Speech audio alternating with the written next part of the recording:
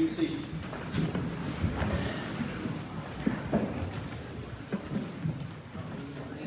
Madam Clerk, would you please do a roll call? Yes, sir. Fail. Here. Buffer. Here. Berry. Here. Gillum. Here. Grantham. Here. Hensley. Here. Jenkins. Here. Kennemore. Here. Lake. Here. Lanier. Here. Miller. Here. Polk. Here. Sane. Here. Vickers. Here. Weems. Wright. Here. Full house, and, and, uh, real quick, we do have a full house tonight, we want to make sure our microphones are working correctly, and I'm gonna ask the commissioners, if you would please speak into the microphone, we want everyone to be able to, to, uh, hear what the commissioners are saying, and, uh, if you can't, please give me a sign, if you would. Just be careful of which finger you use. We're being fair. But anyway, let's, uh, Y'all have in the, uh, in your packet, the minutes, uh, from November. Of course, we've had a long break, and, um, I hope that everyone has had a chance to look at the minutes from our November, uh, meeting, November fifteenth. If everyone has had a chance to review those, is there a motion to accept the minutes from November meeting, please? I have one correction, Mr. Chairman. Yes, sir. Um, in the budget amendment section, Hardeman County Sheriff's Office Drug Fund, requesting debit from drug fund, got a typo, it says seven hundred and twenty-three thousand eight forty-four. That amount should be seventy-three thousand eight forty-four. Seventy-three, eight forty-four, zero, six, Zero, zero. zero, zero. Okay, typo on there. Okay, as amended, is there a motion to approve those minutes as amended? So moved. Is there a second? All right, if you could, please, uh, since that was corrected, let's have a, uh, let's have a roll call vote, please. Bell. Yes. Buffer. Yes. DeBerry. Yes. Gillum. Yes. Grantham. Yes. Hensley. Yes. Jenkins. Yes. Kennemore. Yes. Lake. Present. I mean, yes. Lanier. Yes. Miller. Yes. Pope, Yes. Sane. Yes. Vickers. Yes. Weems. Yes. Wright. Yes. Okay. Motion carries, they are approved. And before we do this, uh, I do want to make clear, tonight, before we adopt this agenda, we, we have a couple of things on the, on our agenda tonight that we're going to have to move into two separate public hearings.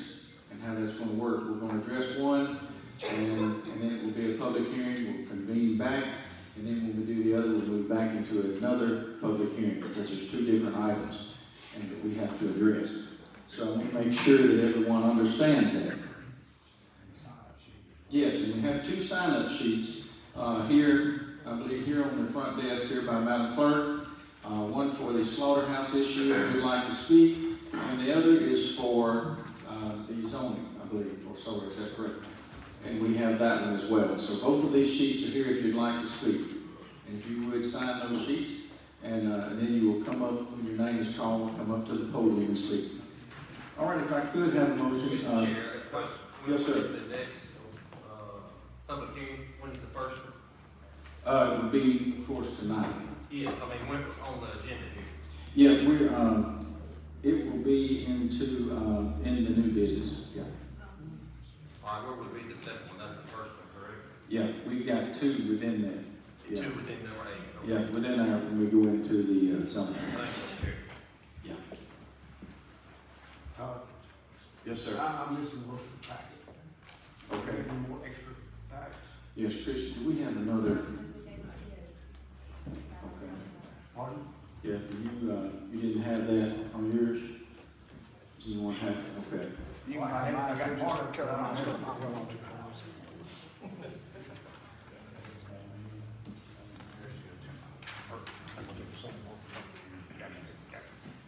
I'll see you tomorrow, Tom.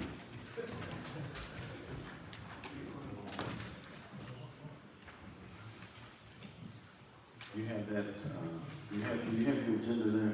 Yeah, I got- yeah. Okay, okay, very good. If we could, let's have a motion to uh, adopt our agenda, if we could, please. So moved. So moved. Is there a second? Second. All in favor? Please signify. All opposed? All right, moving on down, we have the appointments and committees. Uh, If you have those members uh, for our nine-one-one board, for our budget committee, and for our industrial, if you've had a chance to look at those, please. And we also have notaries here.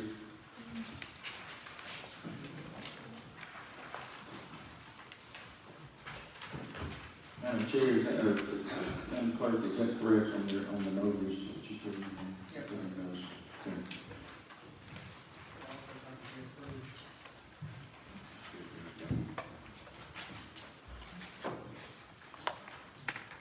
All right, if we, if you'd like to go through those, we'd be glad to go through those. We just need a confirmation on our, on our appointments.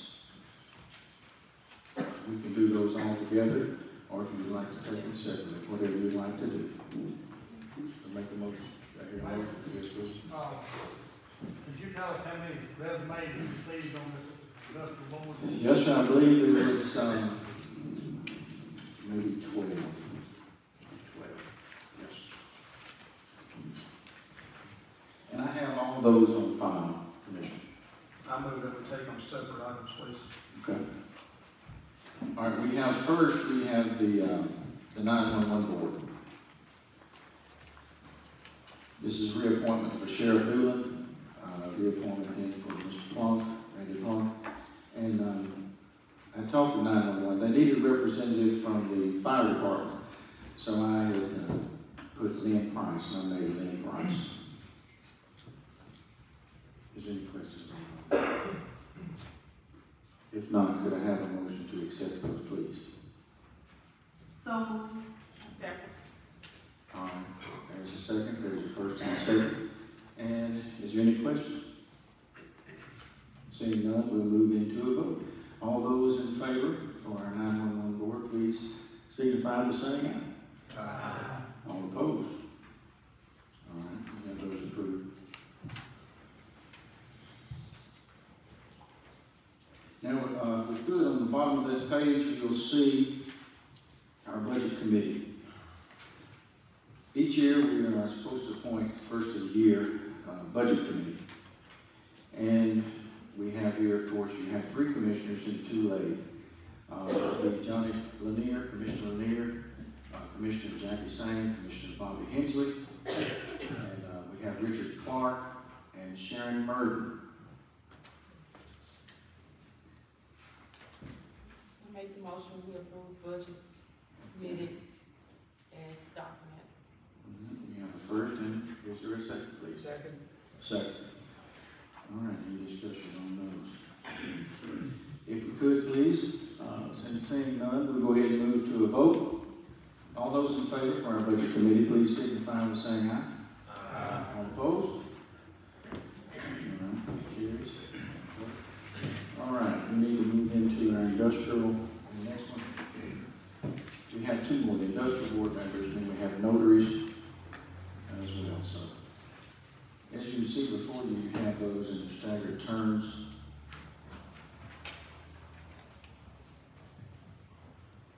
If you have a chance to look at those numbers. All right, is there any, uh, no questions, would I, I would like to entertain a motion, is there a motion to accept it? Accept our members. So moved. Motion, is there a second, please? Second. Second. Any discussion? Seeing none, we will move into the vote.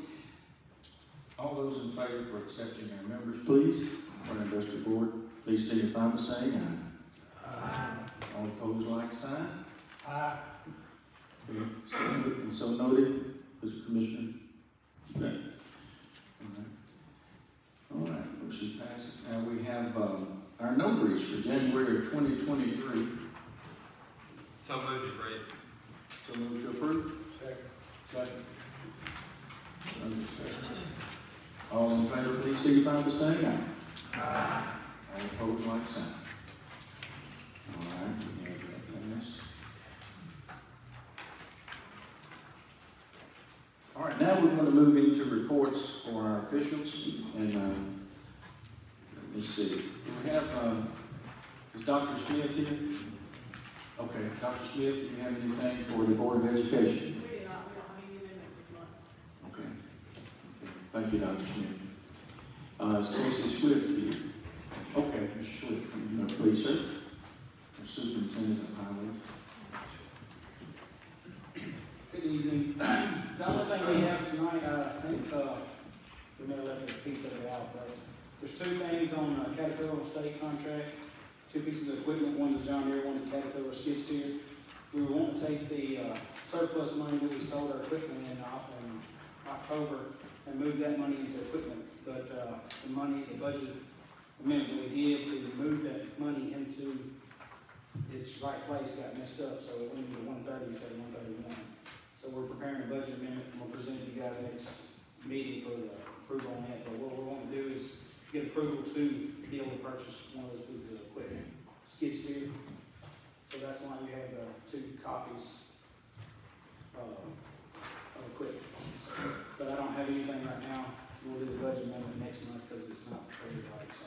Okay. We have nothing tonight. to- Well, no, I mean, let me, let's Action. approval on, uh, being able to purchase one of those pieces of equipment. Like I said, we got hundred and sixteen thousand in from our equipment sale down at the highway department. We wanna move that money into equipment to be able to purchase one of these, but I don't have the budget in it right at this time, at this time, so. You said the hundred sixteen It was hundred and sixteen thousand eighteen is what we sold off equipment, and highway department, old equipment. All right, so we're looking at, uh, John Deere and a Cat. Yes, that's right. But they're both on state contracts, I mean, I don't don't have to get approval to purchase them because they're on state contract, but, I mean, I, I'm just trying to do all the right steps, so. You just want to do the amendment next, next month? We can't because since that money wasn't budgeted into the budget, I have to get approval to spend that money. So I'll just wait and do it tonight. On that, but I just, that's something, information y'all can look over until, until next month. Thank you, Mr. Swift, appreciate you. Uh, Sheriff Dooley, Sheriff Dooley, do you have a report from the Sheriff's Department, please? Uh, Mr. Moore, do you have anything? Sheriff's Department? Okay. Chief Deputy Moore, my apologies. Um, okay, we have, um, is Amber, is Amber here, Amber Moore? Oh, Okay, Sam, would you Mayor, fill us? Mayor, Yes, sir.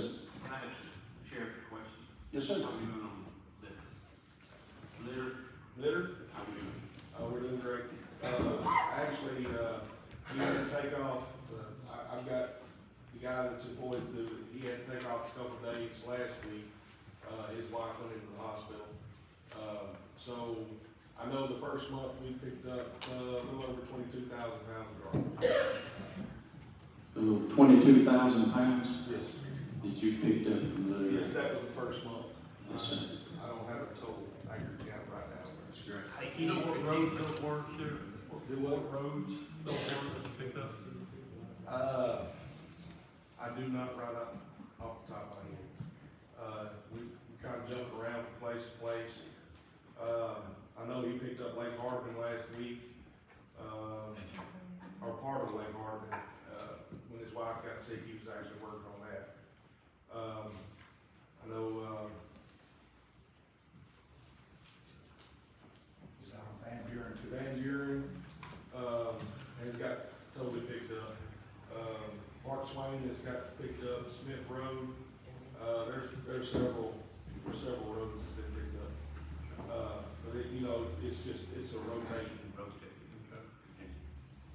And two, could I add, Commissioner, um, and Sheriff, please correct me, correct me if I'm wrong on this, you can't put out the area that you'll be in different No, times, for, no. for the privacy issue, for different reasons. No, I, that's more of a safety and a security reason, so that the employee pretty much don't even know until the day he's going and where he's going. In, in advance, you can't put out. No.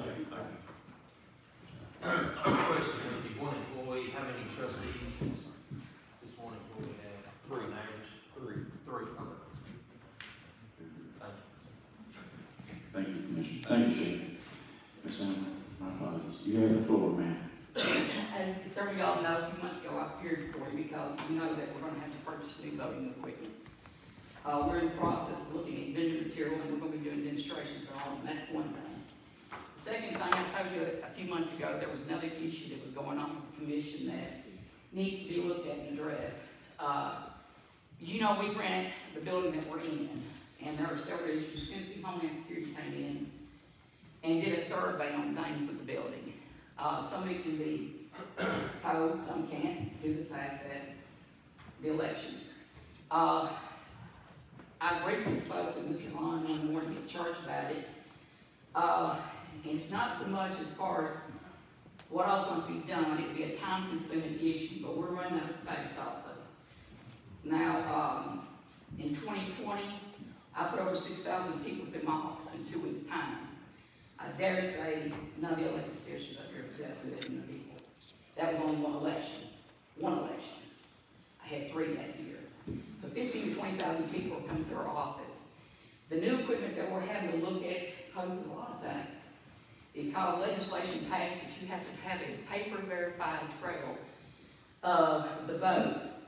It's gonna mean that we're gonna have to print more ballots. With more ballot comes the cost of more security. But also these machines, because of it, there's several devices. Whereas you go in now, you vote on one machine, you go out the door. The machines that are out there now is that you would have to go to a machine and you do one of two things.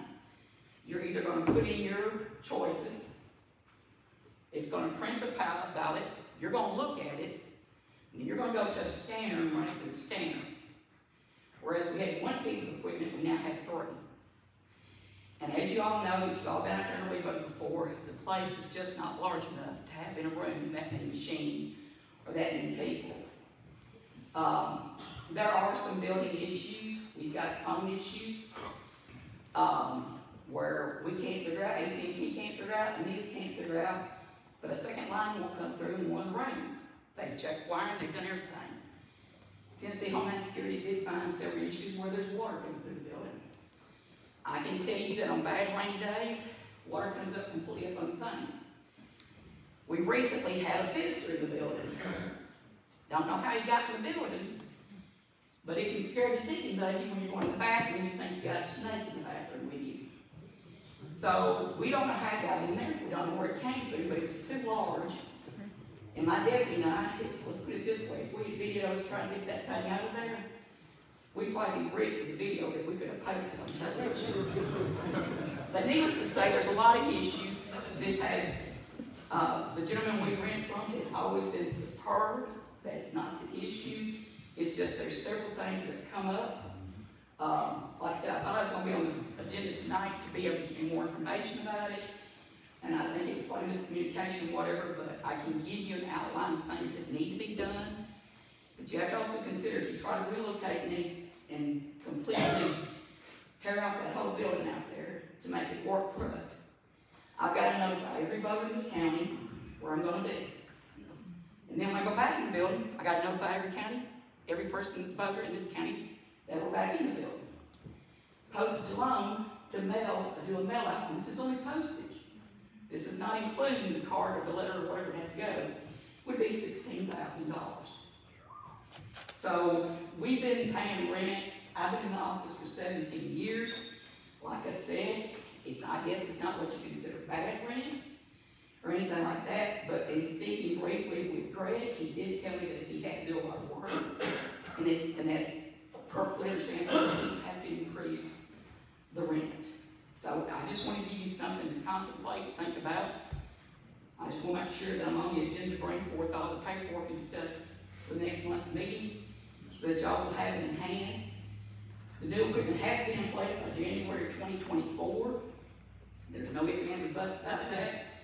I'm under state law, of course, the best thing about that is that the machines will be paid one hundred percent by the state of Tennessee, because legislation did force us to do it. Um, basically that, is, you know, so when you talk about relocating, you have to understand Harvey County is one of the key counties in the state of Tennessee that still has an election every single year. I'm getting ready for the city hall election right now. So, I mean, food for thought, something to think about.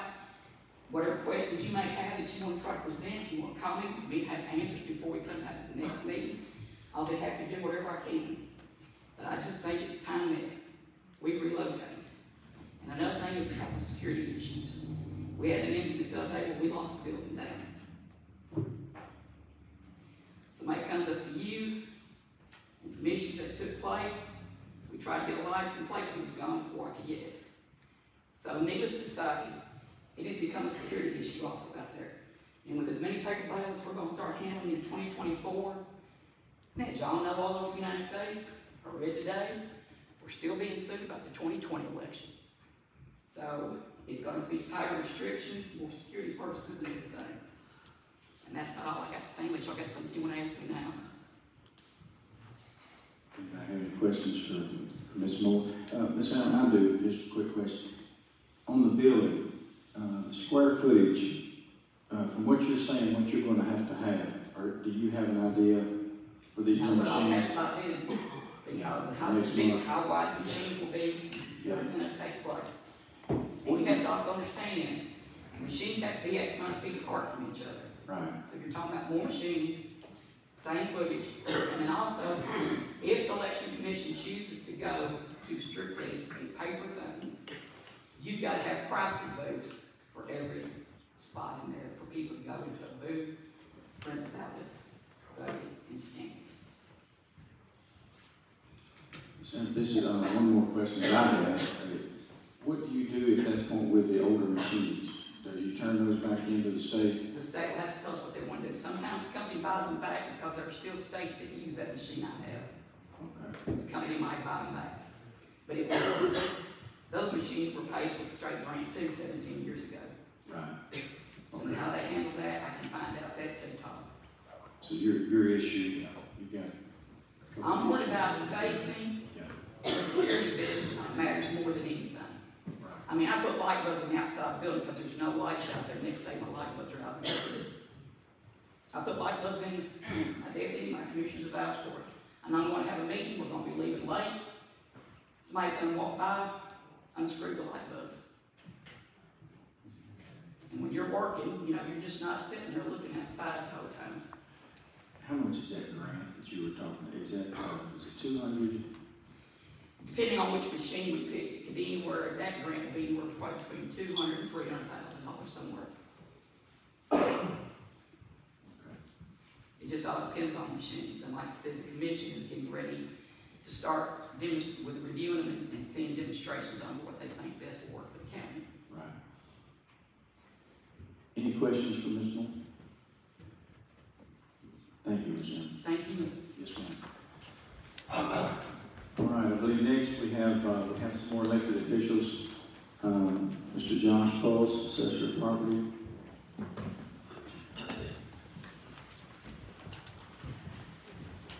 The only thing I have, um, that needs to be approved tonight is the five-year reappraisal plan. You should all have that in your packet. Um, State asked me to get that to y'all this first meeting, so we can get that approved. Same thing we done in two thousand thirteen and again in two thousand eighteen. It's a five-year reappraisal plan, meaning we will reappraise again in twenty twenty-eight.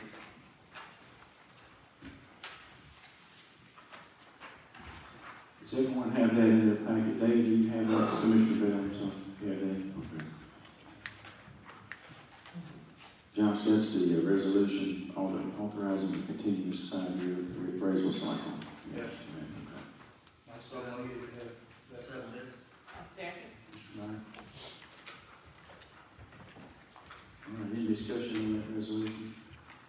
Seeing none, uh, we don't need a roll call vote on that, I believe, we just need a, uh, all those in favor for adopting the five-year reappraisal please signify by saying. Aye. All opposed? All right, Johnson. and, uh, everybody should have one of these little pamphlets. Um, This is something that we're going to try to be getting the word out about the reappraisal, so people don't just end up with an assessment change notice in their mailbox and wonder what's going on.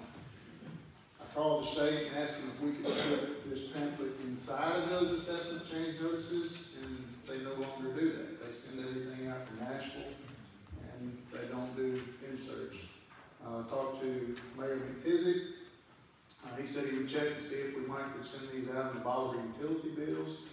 Uh, talked with Mr. Tony Kirk at BEA, he's checking to see if we can send them out in the BEA, uh, statements. Uh, if you have town hall meetings, I know, uh, Commissioner uh, Bufford and and Commissioner Lake, we're gonna have one this Saturday in Whiteville. Uh, we'll be handing those out there, so I, I wanna do whatever we can to try to get the word out, and like Ms. Amber said, the postage to mail these things, it's, it's a lot. We've got over twenty-one thousand parcels, so, um, multiply whatever the postage is, times twenty-one thousand. So, um, if you have town hall meetings, let me know, and I'll get you a stack of these at churches, wherever we can help, uh, educate the public. I encourage that too, for each commissioner to have that in their district. I think that's important, town hall meetings and to do those. Very important. Thank you, John. Any other elected officials that we have with us, trying to scan and see if we had any. If not, I'll move into is, um, Mr. Graves back there, Stephen Graves. Okay. With our.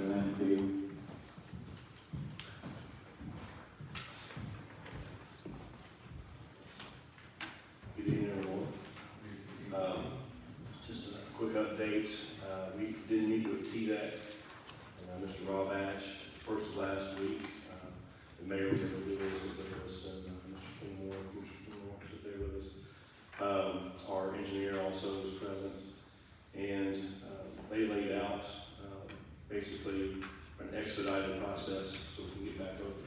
So it was a very positive meeting. Um, We are currently, uh, the graces of uh, Casey Swift and the Highway Department, completing our road around the cell that we talked about before. Uh, They've been working on that since the middle of last week, and the weather is mostly cooperated. Uh, It's been a little rainy some days, uh, but Casey and his guys are rolling, and uh, it's looking really good. Uh, we- We're actually getting the final layer of gravel on top, and actually, uh, going to finish up shortly uh, with the pad where trucks will actually back and and dump the garbage on the south side. So that's, you know, that's good, that's a good thing. Um, We haven't targeted uh, and given a hard date. Uh, I'm, you know, talked briefly with the mayor about that. Of course, yesterday, we can best say do it. We want to get it done as soon as we can. Uh, We want you to be able to put out the word to your constituents, hey, it's open back up. But uh, that's coming soon. And believe me, y'all be the first uh, ladies and gentlemen to know uh, once we get that date uh, lined out. Uh, I'm trying to anything else. We, uh, we did meet uh, shortly after the first of the year, we met on the fifth, uh, the solid waste committee met, a good meeting on the commission, and we'll share more about that. But I'm really excited about our, our committee, we have some good committee uh, on solid waste board, I appreciate all of you. Any questions anybody has about anything I may or may not have an answer, but I can try my best.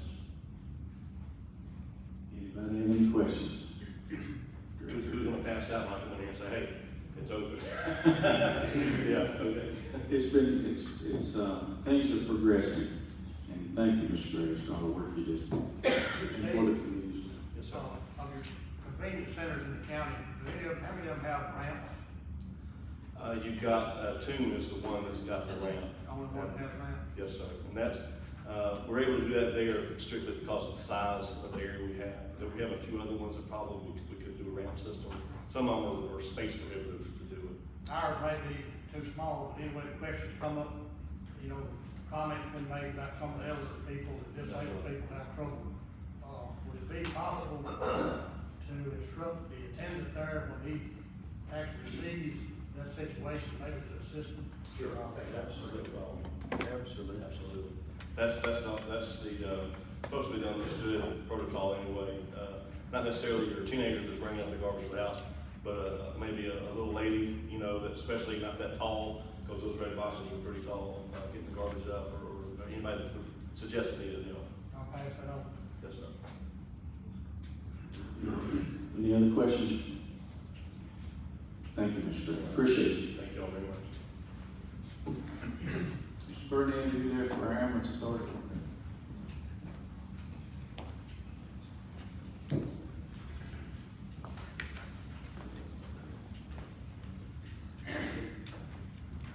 All right, you don't need to speak into that. Somebody, y'all hear me? I'm not a very loud person, I apologize. Uh, I guess I can start with our uh, cardiac monitors that we have ordered, we did get those in, so, uh, we got, uh, uh, three litmuses for the CPR, uh, a little while back, but we did finally get, uh, three cardiac monitors in. Uh, we are still waiting on the ambulance.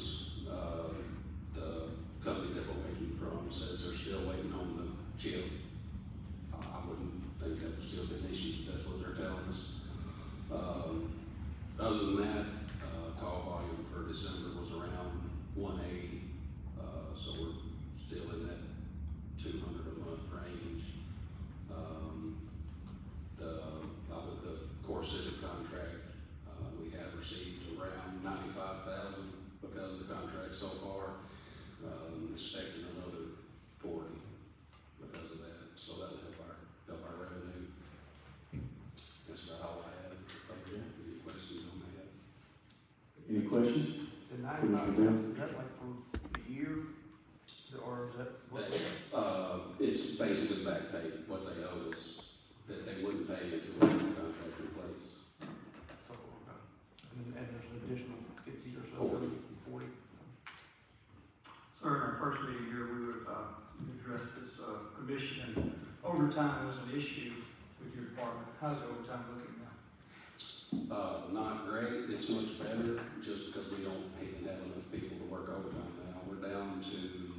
11 full-time employees, uh, with another one that's fixed to be out for a year uh, for military. And no applications. Okay, so, so when you say not great, you have a number? Uh, we just, our, for the year budget was 150,000 and we just had another a budget amendment. I think we were at 170.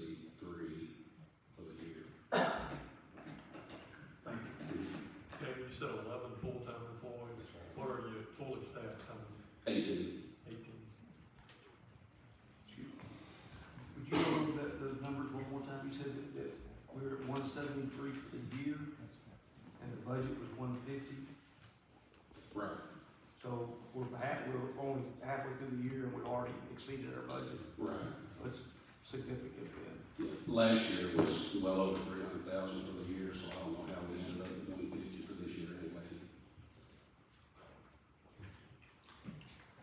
any other questions? Thank you, Director.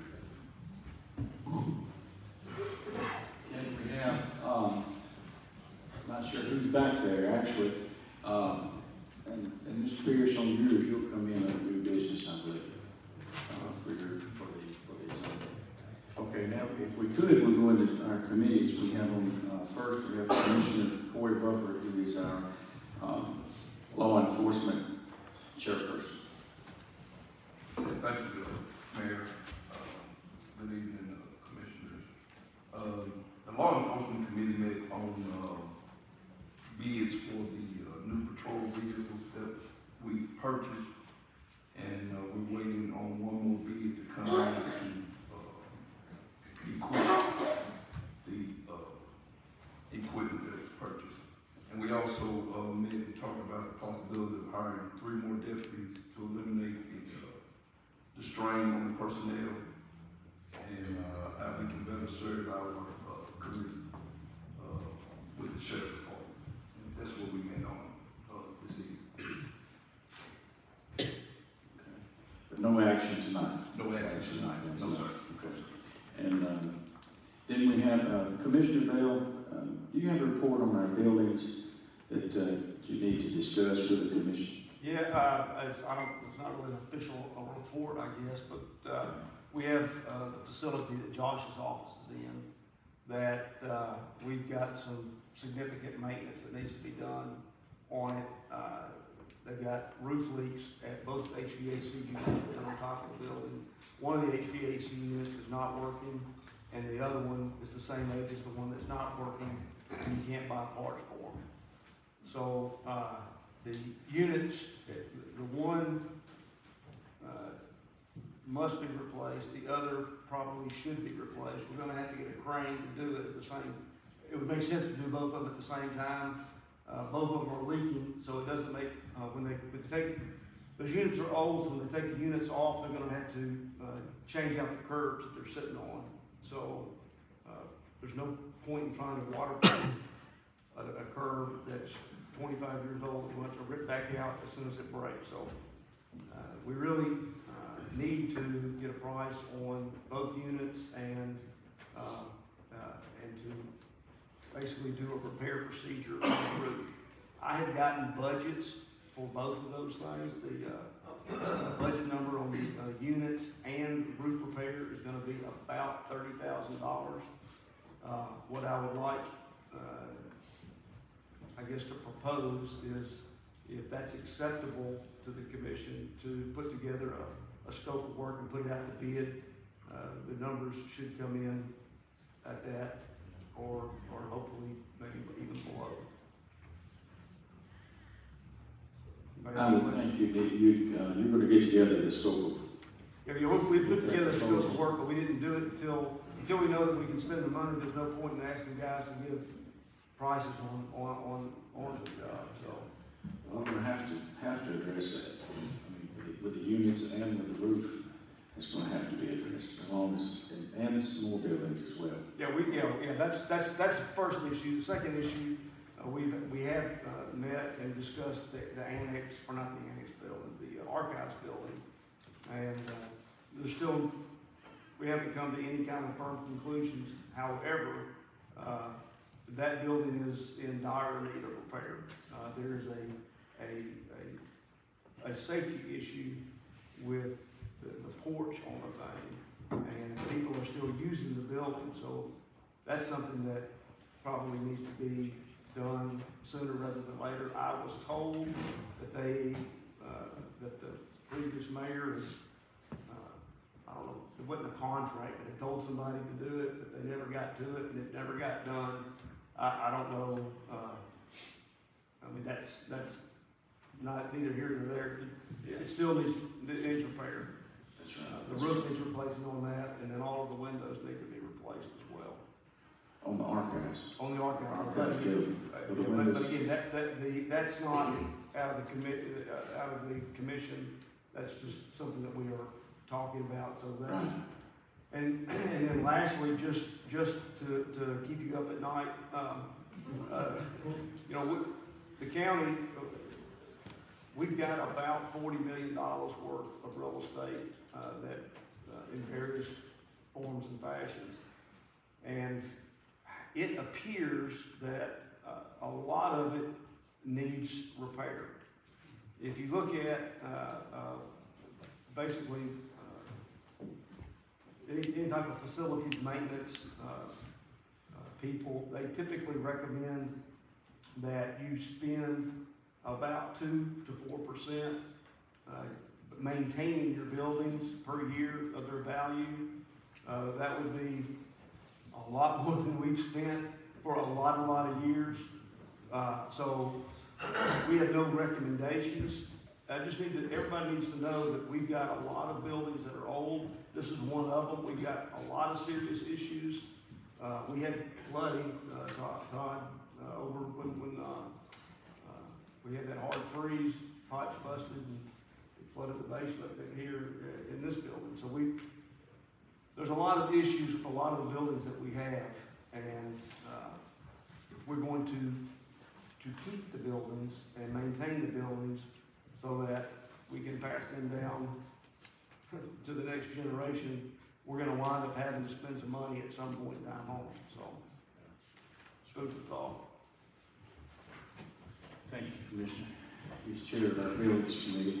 Uh, So, so the, I don't know the procedures, but do, do, can I, should I proceed on getting prices for the repair work on, on this building across the street? Getting, What's the will of the commission? I, I believe that's acceptable to go ahead and and start the process anyway. We're gonna, we're gonna have to address it. And whether you've got to get a scope of work and then it moves into to putting it out for bids, because it sounds like there's gonna have to be two bid process on that for the roof as a separate, but they're gonna have to be coordinated at the same time. When that lift comes in to take those off, then they've got to be able to, to start with that roof. I don't think it's gonna be a pro, I mean, it's, it's not gonna be hard. Roofers and HVA, you know, HVAC contractors work together all the time. It will need to be coordinated, and Chase can be the, the key man, to, you know, the liaison between the two. But it, the only other way to do it would be to have a, a general contractor involved, and then we'll wind up spending even more money. And it really, I don't think there's a need to have a general to do, to do that. Uh, Since the roof is just actually a repair, you know, it's not, it's not gonna be, we're not putting on a whole new roof. I would think that with the, uh, go back with your committee, a full recommendation on that and what we've got to do, and then bring that forth. That's, that's what I would recommend. Any other recommendations on that? Thank you, Commissioner. Is, um, uh, Commissioner Grantham, do you have anything? Uh, the only thing I have is the, uh, I have two items actually, the, uh, airport, uh, we are in the process of receiving bids, uh, going to start receiving bids in February on the new terminal building. Uh, our last discussion in the committee was to, um, have Mr. Swift help us with the, uh, road, putting it in, and that should lead us forward on a lot of savings on money toward the terminal and getting that, uh, started. The next item would be, uh, on the lower courthouse, uh, restoration on it is at a standstill due to weather. We look to, uh, pick back up on that in the, uh, early spring when, weather permits and, complete that job. Probably no later than, March or April of, of this year. That's all I have. I got a question. Yes, sir, Mr. I, I don't, so we, we're gonna build another terminal? Do we ever build? Well, we're, we're in the process of getting bids together so it can be presented, the money be presented to this commission for bids for another vote to build another terminal.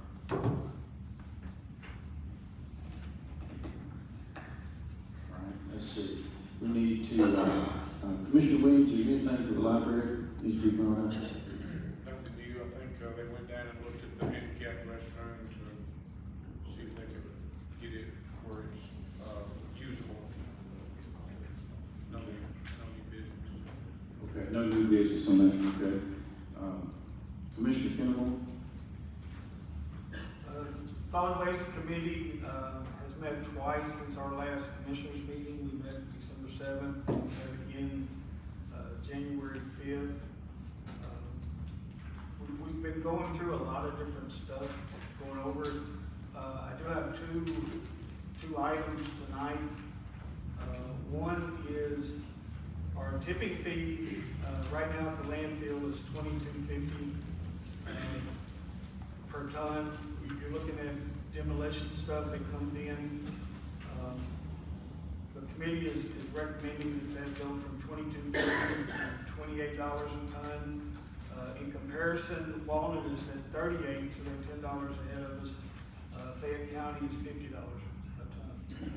So again, we're, we're, we're asking to raise it from twenty-two fifty up to twenty-eight dollars.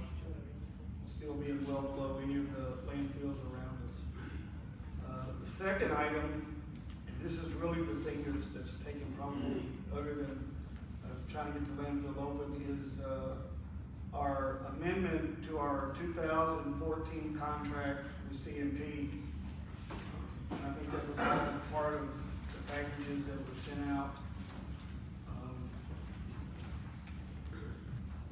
Right now, the, the contract, again, is, is written in, in two thousand fourteen, is, uh, we paid ten thousand three hundred ninety-five dollars a month for seventy loads.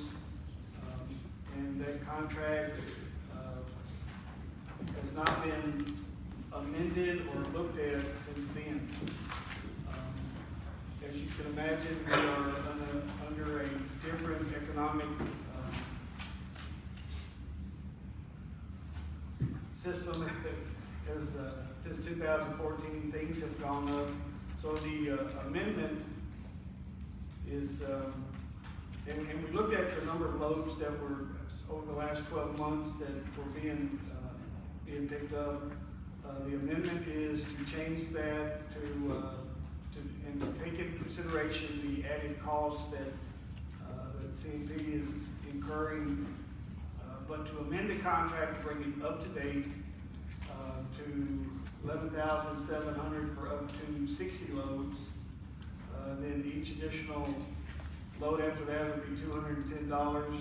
Uh, Part of what CMP has been providing out to Whiteville Lake is the dumpster out there and picking that up, and that's, that has not been part of the contract, it's just something, uh, that the previous administration had agreed with, asked for them to do. Uh, but to, to bring it, bring the contract up to date to, is to amend that for two hundred and fifty dollars a month for CMP to maintain, pick up, and, uh, take care of that, that dumpster. Now, we, um, Mr. Chair, could I ask you please for that? On, uh, that is, that amendment will carry us through to the end of the fiscal year. Right. That's what the amendment is, okay.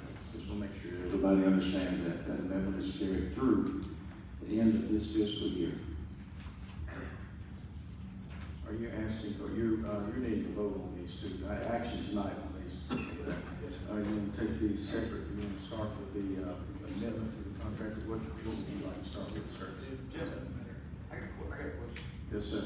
I, we, one, when it is reopened, we're gonna only take trash from Hardeman County residents for projects, is that correct? That was part of the discussion. Um, I think that's something that, uh, that we need to keep discussing. That's, that's, that's been the standard that they've gone by.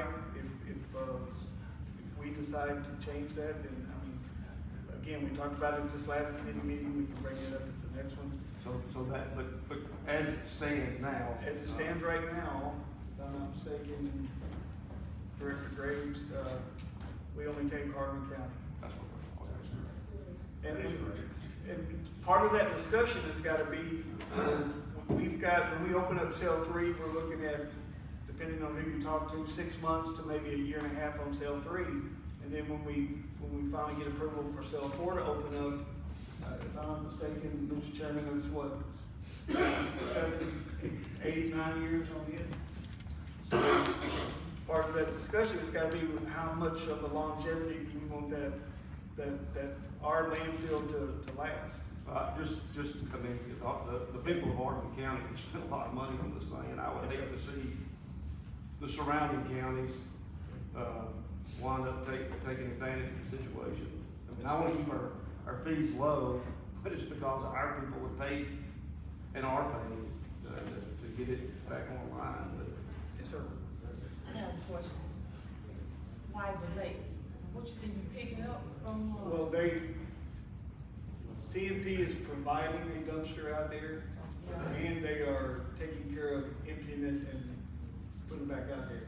And that's, that's, like I said, that's, that has not been part of, of the previous contract. We want to bring everything up to level. Oh, that wasn't it, that wasn't in It wasn't in the contract, it was, it it was an agreement, and again, the committee is, is, uh, working hard to get everything in writing. the, okay, We want to get that covered. okay, I have another question. What, what you say about the fees? Right, the, um, tipping fee, if, if, uh, No, not that the fee that, um, each, That's what I'm talking about, the tipping fee. Oh, that, that's, that's included with the fee that every, our citizens? no, No, ma'am, that's, this, the, the tipping fee that has nothing to do with household trash pickup or anything like that that's going on. This is, this is, if someone was to tear down a house or you know, remodel a house, all the, Mhm. everything that would be thrown into a, uh, a bin would be, we brought out there, and then the tipping fee is what, what we would charge to take that per ton. Again, twenty-two fifty to, uh, twenty-eight. Twenty-eight. And then Walnut, it would cost you thirty-eight down there and fifty at Fayette County. At the end of the fiscal year, anticipate our reopen, is that what the amendments? Well, no, the, the amendment is to get us through the fiscal year for budget purposes and. and- June thirtieth. Right, to June thirtieth, and then, um, there's, there's things that we'll look at to renew the contract for three years if, if it's a. Fires are not online.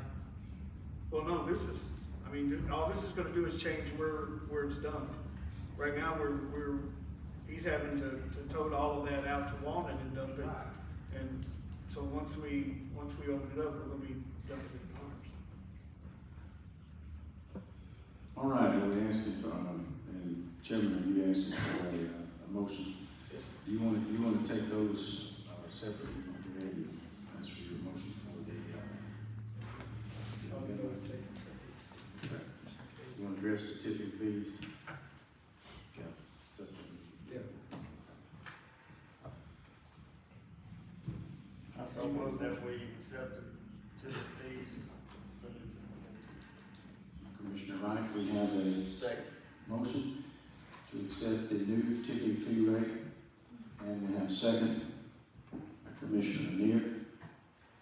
Any discussion there? Uh, what's that cost again? The, uh, it's, it's twenty-eight, that we moved from twenty-two, is that correct? Twenty-two fifty. Twenty-two fifty to twenty-eight. Thank you. Per ton. Seeing no discussion, I believe we need a roll call vote on that, Madam Clerk, because that is really what I feel. If we could have a roll call vote on that. Bell, Yes. Booker, Yes. DeBoer, Yes. Gillum, Yes. Grantham, Yes. Hensley, Yes. Jenkins, Yes. Kenmore, Yes. Blake, Yes. Lanier, Yes. Miller, Yes. Pope, Yes. Sane, Yes. Vickers, Yes. Wing, Yes. Wright.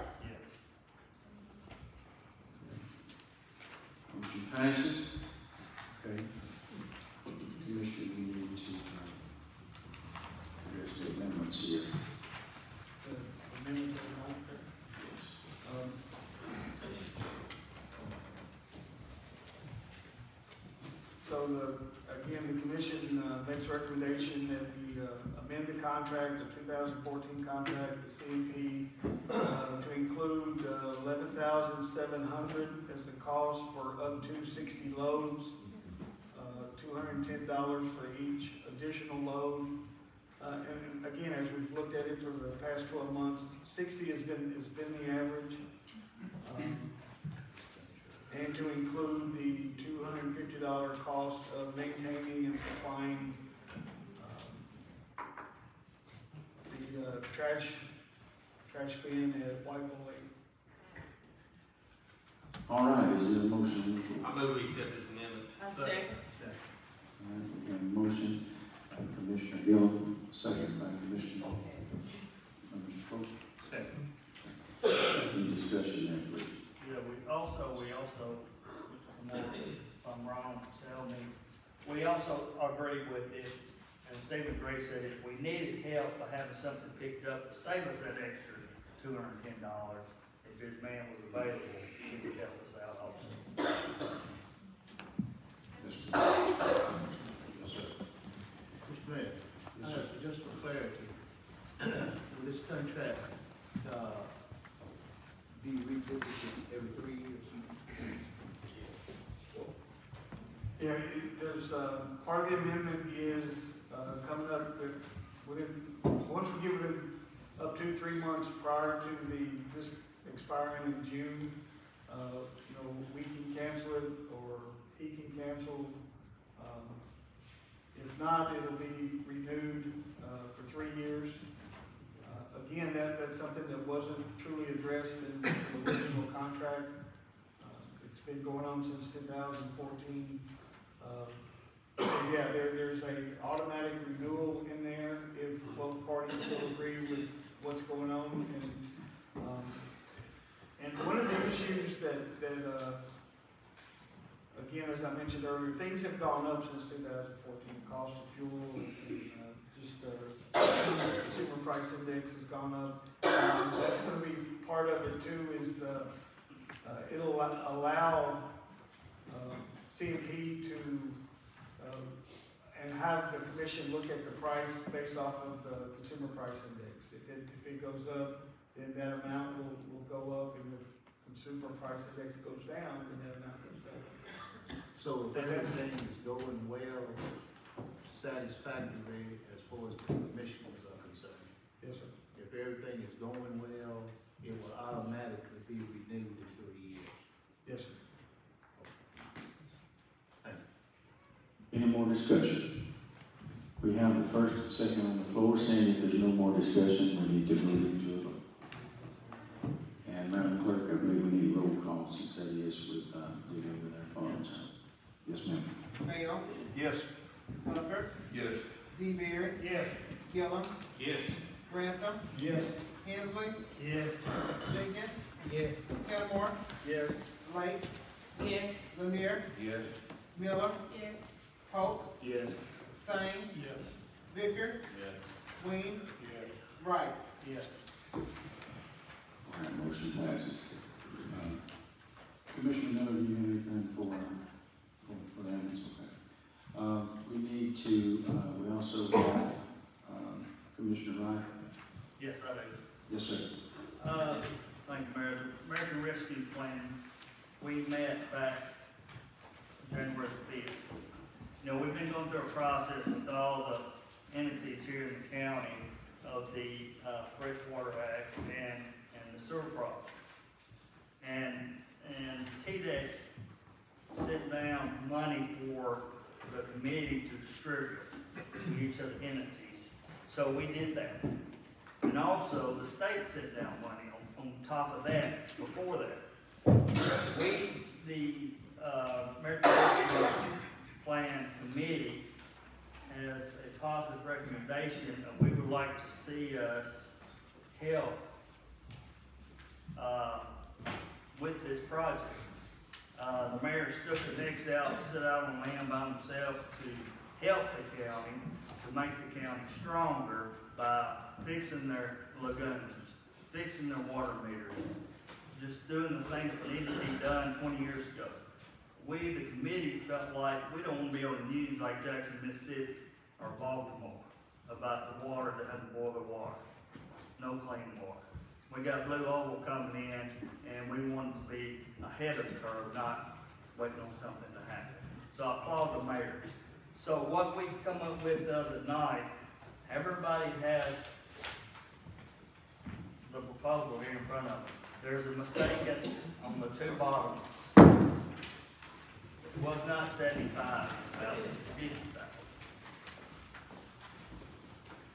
Uh, we would like to see us give these entities and private communities this amount to help with their project.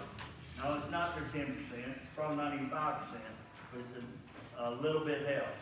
I think most of the mayors are here, presidents are here tonight, and, uh, I just, uh, we just felt like this was a, uh, good effort on the county as the big brothers of the county. I think that, uh, I hope you find it, uh, with your vote to support this, and, uh, is there any questions? Yes. Are, are, are these, I don't know that much about this, these funds and how they're restricted, but, but what, what are the restrictions on these funds that y'all are proposing to use? There's, the, the restrictions on these American Rescue Plan, most of them have been waived. There are very few restrictions that will come back to us. This is not one of them. This has been approved and blessed by the state, CTAS and everything. Uh, Stuff you can't pay for, uh, pay raises, lawsuits, um, and I can't think of something else on my, it's like four things they do not recommend you get caught up in. So you can use it for operating funds if you had to or needed to? Yes. Kind of like, uh, your building, if worse comes to worse and we, money, The, uh, wh- when, when are y'all, are you proposing to, to do this? Okay, I put out here, I told all the mayors and the presidents that this is not just a, this is a one-time check. That means you will not receive this money until you spend your money. For example, Baldwin, seventy-five thousand. When they spend their seventy-five thousand, it might be next month, it might be six months from now, it might be a year from now. But when they spend that money, Southwest will let us know they have spent that money, and we will reimburse them that seventy-five thousand dollars. I, I, mean, I personally think it's a, it's a, it's a great idea. Uh, I, I have a concern because of, we've got a, tentatively, I, I have no idea when these suits are gonna be settled and how they're gonna be settled. Uh, maybe our, our, our lawyer friend can kill, And clue we us in on cannot that. use this money for that. No, but if you can use it for operating capital, and we have to use our operating capital to pay, pay a lawsuit, then we could, But we you could, do we that, could be able to, to, turn, we need to turn this into general funds and not have a trail. Because they will come back and see. That's what I was doing. Yes, that, and that is a good point, may I interject, please? If you take those funds, um, and put them into the general fund, uh, it is a term called commingling, and you can do that, because those restrictions, um, we have, we're under the limit of ten million. Now, commingling is a term that you usually don't hear that it's okay to do. In private, uh, enterprises, you can't commingle the funds with certain, certain things. But on this, you can, if you put it into the general fund, then you can use it for general government purposes. And that's what that means on that. But, but to, to Commissioner uh, Wright's point, yeah, as it stands now, you can't use those particular ones for that. So the, the money that we received strictly for water and wastewater, we've distributed that to the cities, correct? They have not all received that yet. Okay, but it has been allocated to them. This money can be used for anything. No. Operating expenses. for those projects. It all goes through Southwest. With Southwest, No, no, no, this, this money is not restricted, right? no. For us, So I'm, I'm with Commissioner Bell, I mean, we, we're facing a lot of things, I mean, look like we, to me, we want to hold this top of the county. I was told that we may know something on the suit, within the next month or two, is that? The, uh, FLSA suit goes to mediation, uh, February sixth. So, you got any idea how long a process that's gonna be? Well, the mediation's scheduled for three days, the sixth, seventh, and eighth here in Bolivar. And, uh, and so we'll know something no later than the eighth, when we've got it settled, and if so, for how much. And that'll have to come before this body for approval. So, so we'll have, we'll know, we'll know that before the next commission meeting. Sounds like. Commissioner Wright, wh- what's the running balance on the ARP fund, you know? well, we have not spent a dime of the two point four, um, that we just received, two point four eight three, I believe what it is, uh, we have not spent a dime of that. There's controversy of some things, and we still haven't spent all the money of the last ARP money. So, we're thinking today that we're somewhere around two point five million dollars. Between the two. Everybody's been appropriated and promised, but that was shifted to general fund, because it was not used last year, so it automatically goes to general fund.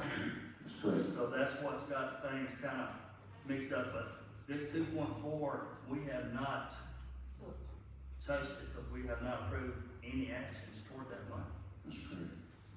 That's correct. Commissioner, last year for that fiscal uh, budget, I believe there was some appropriated and, um, and, and it was not used, so they put it back into the general fund.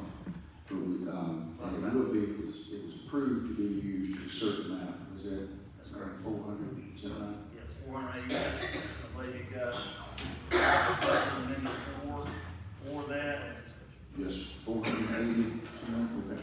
Mr. Chairman, Yes, sir. uh, I've listened to what, uh, Commissioner Rogers said and understand about the distribution and going back to general fund, but before we choose either, can we, um, choose to table this for further discussion? Since we've just introduced this tonight, it's a big decision, and I think, uh, I think let the commission absorb this, think about it, and maybe table this for further discussion. Second. Okay, we have move to table this for further discussion. We have a motion to table. And we have a second on the floor. We need to move into a vote, because a motion to table is not debatable or amendable. So we need to move into immediate vote for a table. Madam Clerk, do we need a roll call vote on the table? I believe we do. Yes, ma'am. Roll call vote, please. Bell, Yes. Moffett, Gillum, Yes. Grantham, Yes. Hensley, Yes. Jenkins, Yes. Kenmore, Yes. Blake, Yes. Lanier, Yes. Miller, Yes. Pope, Yeah. Sane, Yes. Vickers, Yes. Weems, Yes. Wright. Motion passes. Thank you, and uh, thank you to all our commissioners, and we have some more uh, commissioners here. Commissioner Wright, thank you for the work that you do on it. It- Folks, this is a hard decision, Uh, and and we've said, these commissioners go through a lot of hard decisions, and they're tough decisions going to have to be made, because we're responsible for not just our money, it's all of our money. So we're trying to be good stewards of the money, and uh, thank you for your hard work. I know that's not easy, Commissioner Wright, but thank you for, for every, every input and for what each commissioner does. Um, And um, Commissioner I think we need to move to you for our budget amendments, please, sir. Thank you, Mr. Chairman. Good evening, Commissioners. Uh, several budget amendments tonight. I think it's roughly eleven, uh, in your packet. Got a number, so they're uh, keep up with. If, you'll pull out, uh, number eight first. Just to explain, this was approved by the, uh, budget committee that met, uh, tonight prior to the commission meeting. And this is just a, uh, line item transfer, uh, sheriff's office, uh, deputy fifty-four, one ten, one ninety-six, training nineteen hundred dollars, and crediting, uh, fifty-four, one ten, three fifty-five, which is travel, requires no action for the full commission. Uh, it was approved by the budget committee.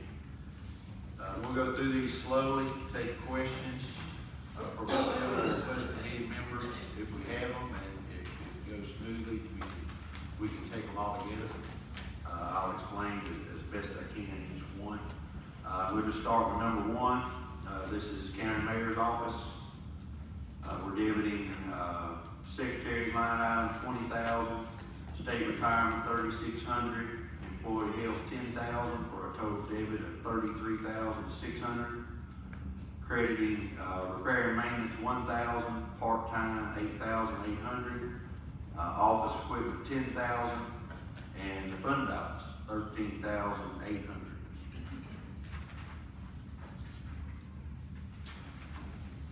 Are there any questions at all on that one? Yes, Commissioner, uh, line one oh one, you saying, uh, employee health, you did it for ten thousand, Yes, ma'am. okay, so, Uh, the mayor, he has a room in the secretary line item, hmm, and also with the health insurance, and he's got a, uh, part-time employee, that's why it's being credited. But there was, there was room in the budget in those line items versus going to the fund balance. And that's why you have the credit of the thirteen eighty to the fund balance, that was, uh, uh, just money in his budget, he did not need at this time. okay, And of course, all, all the budget will be revisited for next fiscal year. Uh, and also, if, if you were to see a budget, several of our, uh, offices are getting this next-gen server upgrade. Um, we discussed that in the meeting, uh, to some degree, that seven one nine line item is a restricted fund. But The mayor has got pricing on, on upgrading this, uh, we noticed that in, in Ms. Tonette's budget as well. She's trying to get all that updated, it's just, it's just outdated. Any other questions on that? Okay, moving to number two. Uh, the ambulance department, and again, not going to, uh, the fund balance, but uh, as Jamie stated in, in his briefing, uh, behind on overtime. So debiting, uh, twenty-five thousand, and attendance seventy-eight thousand, and employee insurance forty thousand.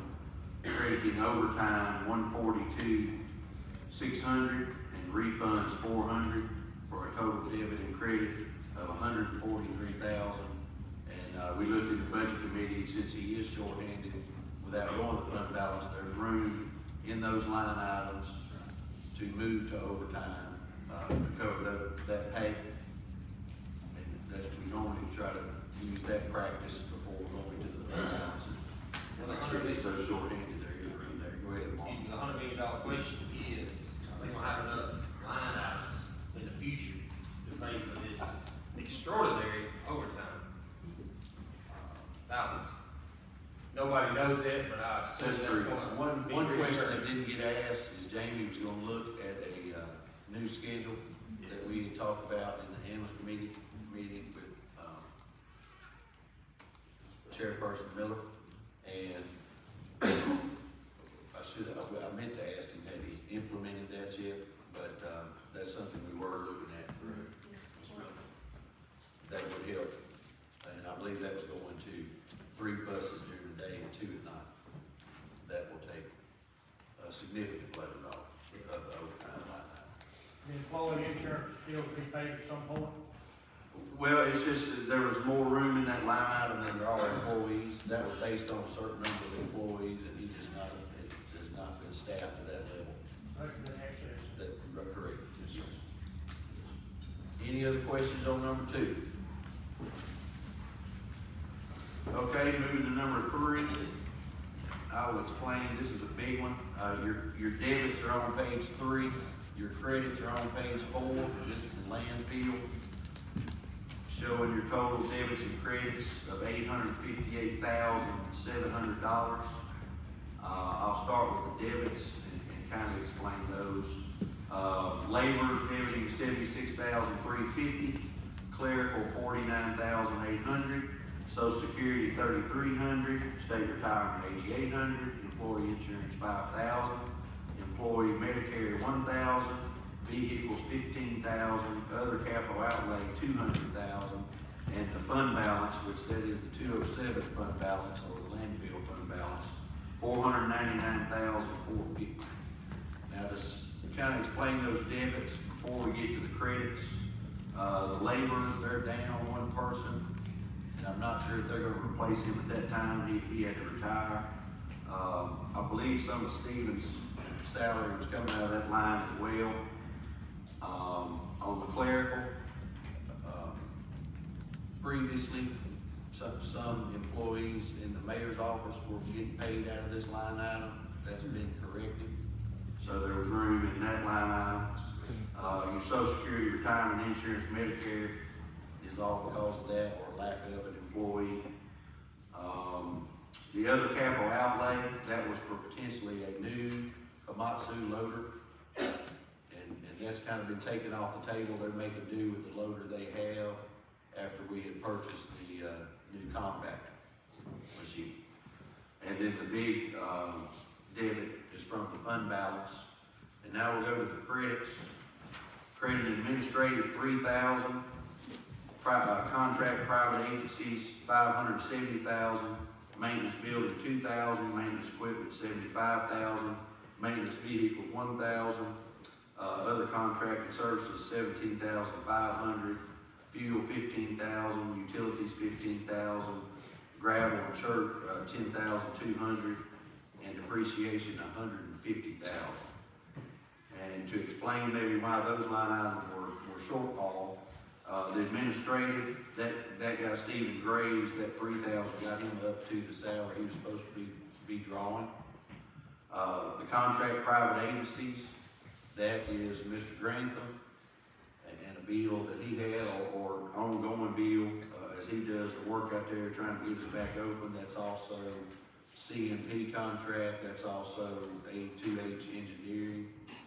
And, uh, also what we've been having to pay North Mississippi landfill while we're closed. So that's, that's what the big one is, uh, there. Uh, on the maintenance, some of those line items were just not enough money in the budget or things they ran into, uh, on the equipment. Um, there is one door that's a safety issue, I think that's why that's in there, it was around twenty-five thousand. Uh, the other contracted services, I believe that's just the Waypoint Analytical, they do the soil samples and, and that type of thing at the landfill on a yearly basis, uh, how many times they visit. And then the depreciation, Uh, that line item only had fifty thousand in it, we were way over, uh, on that, which that would come, like with this, uh, the compactor, even though it's financed at ten years, it's probably a thirty-year depreciation, uh, on that, but that line item was, was way under budget on that. So that's the debits and credits, like I said, totaling eight fifty-eight, seven hundred, and, and the explanation behind that. Are there any further questions on that? I've got a question, but Yes, it's not really this, maybe I know the answer to this. You mentioned that compactor, but that was like a six hundred thousand dollar deal, right? Yes, sir. And I guess we're just making monthly notes, is that what Uh, we're doing on that? yearly, is that right, Mr. Chair? Yes, sir, that's correct. Uh, we have a payment coming up, I believe it's first of June. Uh, from what I understand, it's a hundred thousand. So, again, Bobby, is it, is, is, would that be something that those ARP funds would, could, could cover? We pay for that out of that? Yes. That'd be a six hundred thousand dollar deal off our plate. Just saying. Of course, keep in mind, please, Commissioner, that is an enterprise fund. And we need to work those figures out within this and, and with the extra tipping fees and then with the, um, calculations that we're doing with opening a certain date, we will have those funds, but we're working on that even now, uh, in my office.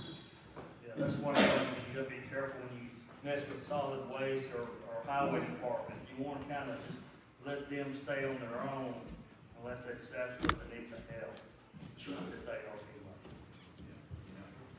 Yes.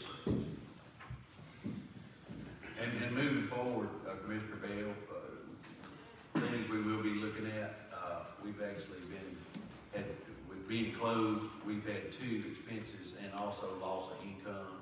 Uh, if we could get open, hopefully prior to this next fiscal year, that's three things we've gotta capture to, you know, see what we need to do with that project. We've had an extreme bill to North Mississippi landfill. Uh, Mr. Grantham's done a great deal of work over the last two to three years out there. Hopefully goes away once we're back open and, and completed. And then also, uh, we've been losing the income from the tipping fees. Uh, to give an example, even my business, my garbage is going to Walnut instead.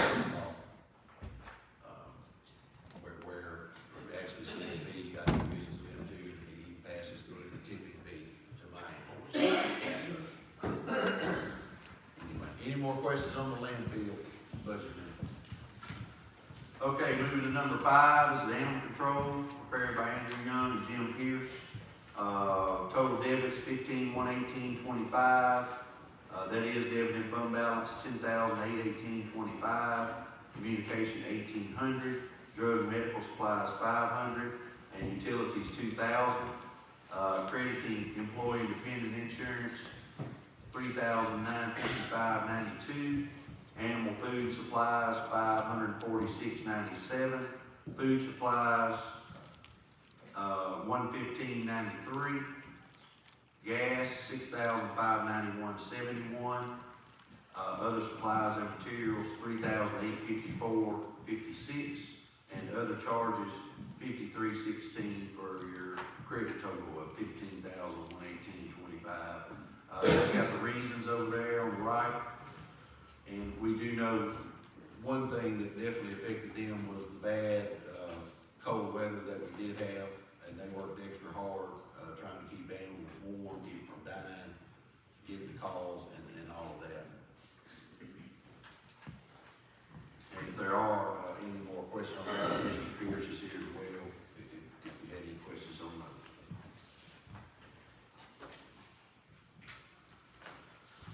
Okay, number six, uh, the budget committee has some, uh, some changes on this one, and, and also some, some clarity.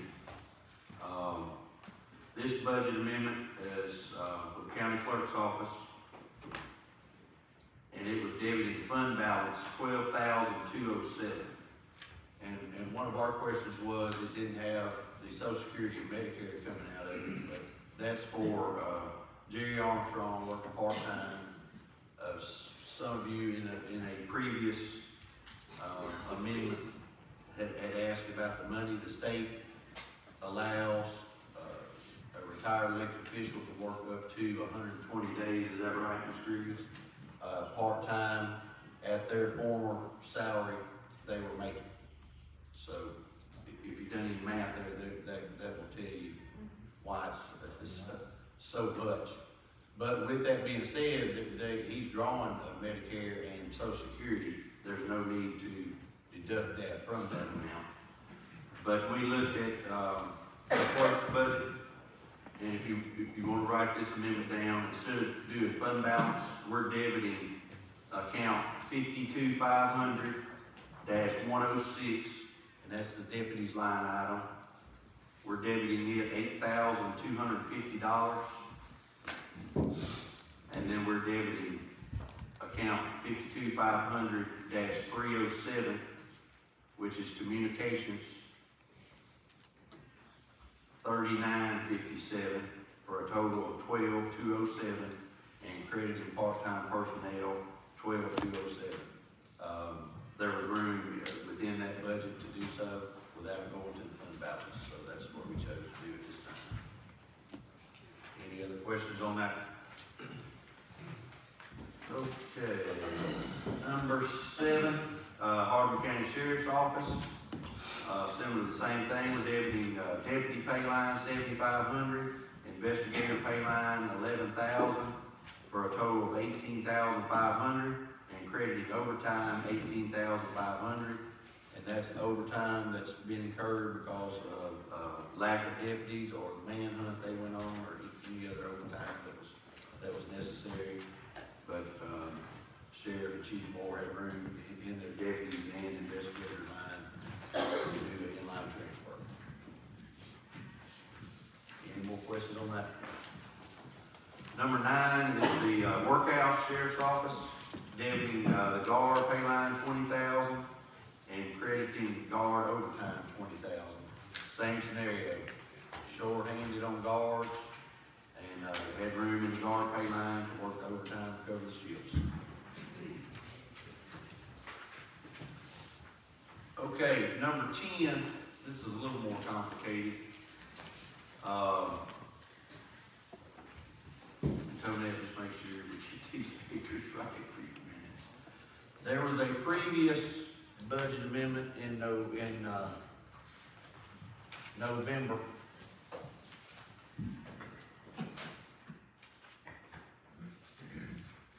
For the same amount as number ten, the four hundred eighty-two thousand eight sixty-four eighty-six.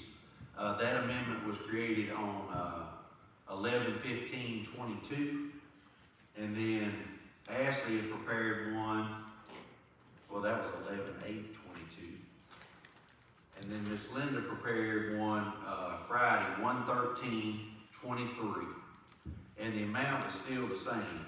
The debit is, is for four hundred eighty-two thousand, eight hundred sixty-four dollars and eighty-six cents. And the credits are what have changed, um, to make the social security, unemployment, Medicare, and everything work out. Uh, those, those figures, uh, were wrong to some degree.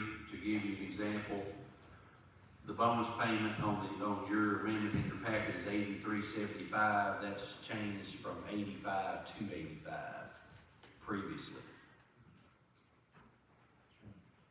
The, uh, social security changed. Uh, old amount was five thousand two eighty-seven sixty-seven, new amount was five thousand one ninety-two eighty-one. Uh, unemployment compensation went from, uh, fifty dollars on the new one, it's thirty-two dollars and twenty-one cents. Medicare went from twelve thirty-six sixty-three to twelve twenty-one forty-four. And the other charges credit went from three sixty-four, three forty-eight, sixty-three up to three ninety-two, six sixty-three, forty. And the, the reason for that big one, of course, you don't have the old one in front of you. Uh, it had the highway department bonuses on there. We don't do their payroll, so that check had to be cut straight to them to take care of that. And, and that's why that is off the amendment.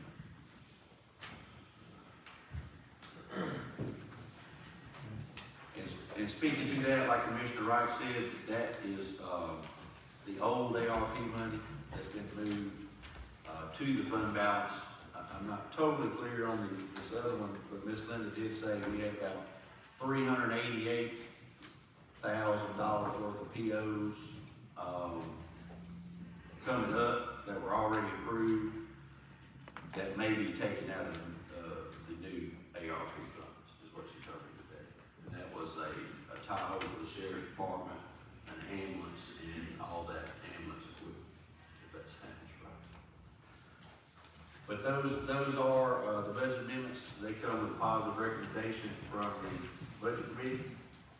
Uh, any more questions on, on any of those? If not, Mr. Chair, we entertain a motion to approve all of them. All right, is there a motion to approve all of our budget amendments, please? I'll make a motion to approve. Second. Motion's been properly made and seconded. Any discussion? Seeing none, moving to a roll call vote, please, Madam Clerk. Bell, Yes. Buffer, Yes. DeBerry. Yes. Gillum, Yes. Grantham, Yes. Hensley, Yes. Jenkins, Yes. Kennamore, Yes. Lake, Yes. Lanier, Yes. Miller, Pope, Yes. Sane, Yes. Vickers, Yes. Wing, Yes. Wright. Yes. Motion passes. Um, we need to move in now, and folks, I know this is a long meeting, and, but we haven't had one, we had, uh, November, we didn't have one in, of course, December, so we have a lot of business, but that's what we're here to do, people's business, so please forgive us if it's going a little long, I won't talk much. Good to see you real quick, good to see our former mayor that day, as mentioned. Um, let's move into new business, please. The benefit time liability, Uh, Commissioner Buffer, was that what you were referring to? Okay, we, we don't need action on that tonight, okay. We'll move into our zoning. Mr. Pierce? You have the floor, sir.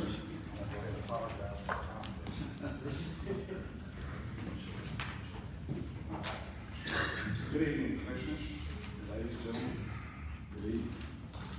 Uh, Get started with some administrative stuff. Building permits for the month of December was four. Variances for board for appeals, zero. Animal control, ninety-one calls. Dispatches, ninety-one. Dogs picked up, eighteen. Two transports in the month of, uh, December, uh, that helped alleviate some of the real estate issues. Um, get a chance to ask your neighbor to take care of your dogs. Um, community centers, uh, they are administered through my office, uh, just make note to each commissioner. Uh, we know the gravel is, uh, not good at the sites, and it has been quoted and in the process of being purchased, and through, myself and Steve, we're gonna ensure it gets there in a timely manner, uh, across the next month, weather permitting. And, uh, Commissioner DeBerry, uh, the individual at Hornsby Community Center has been instructed to help, uh, everyone with their garbage. And, uh, that doesn't improve, if you contact my ladies in the office, we will definitely address it. Uh, fire extinguishers, fire extinguishers, and, uh, other common sign, which is one thing we're trying to get out each other, make them compliant. And, uh, anywhere else that you guys hear, we have a ramp. Uh, ramps are adjustable. Find that will be a benefit, let's just figure out how we're gonna pay for it and get it there. And Commissioner Bell, you spoke of, uh, some of the, uh, county building issues. Uh, as you know, we've had, your point of flooding, the phone systems are down and all, and, uh, there was a recent OSHA, uh, inspection, and we're gonna have some expenses out of that, come by and see me, and I'll explain those to you. And. Was that today, sir? That was today? That was today. And, uh, Where, where, where, on what side? uh, courthouse. And because you're already having issues sleeping, uh, your current account fifty-one eight hundred three three five, uh, has eighty-two hundred dollars in it. So as you get all these bills fixed, you might as well go ahead and get your budget number ready.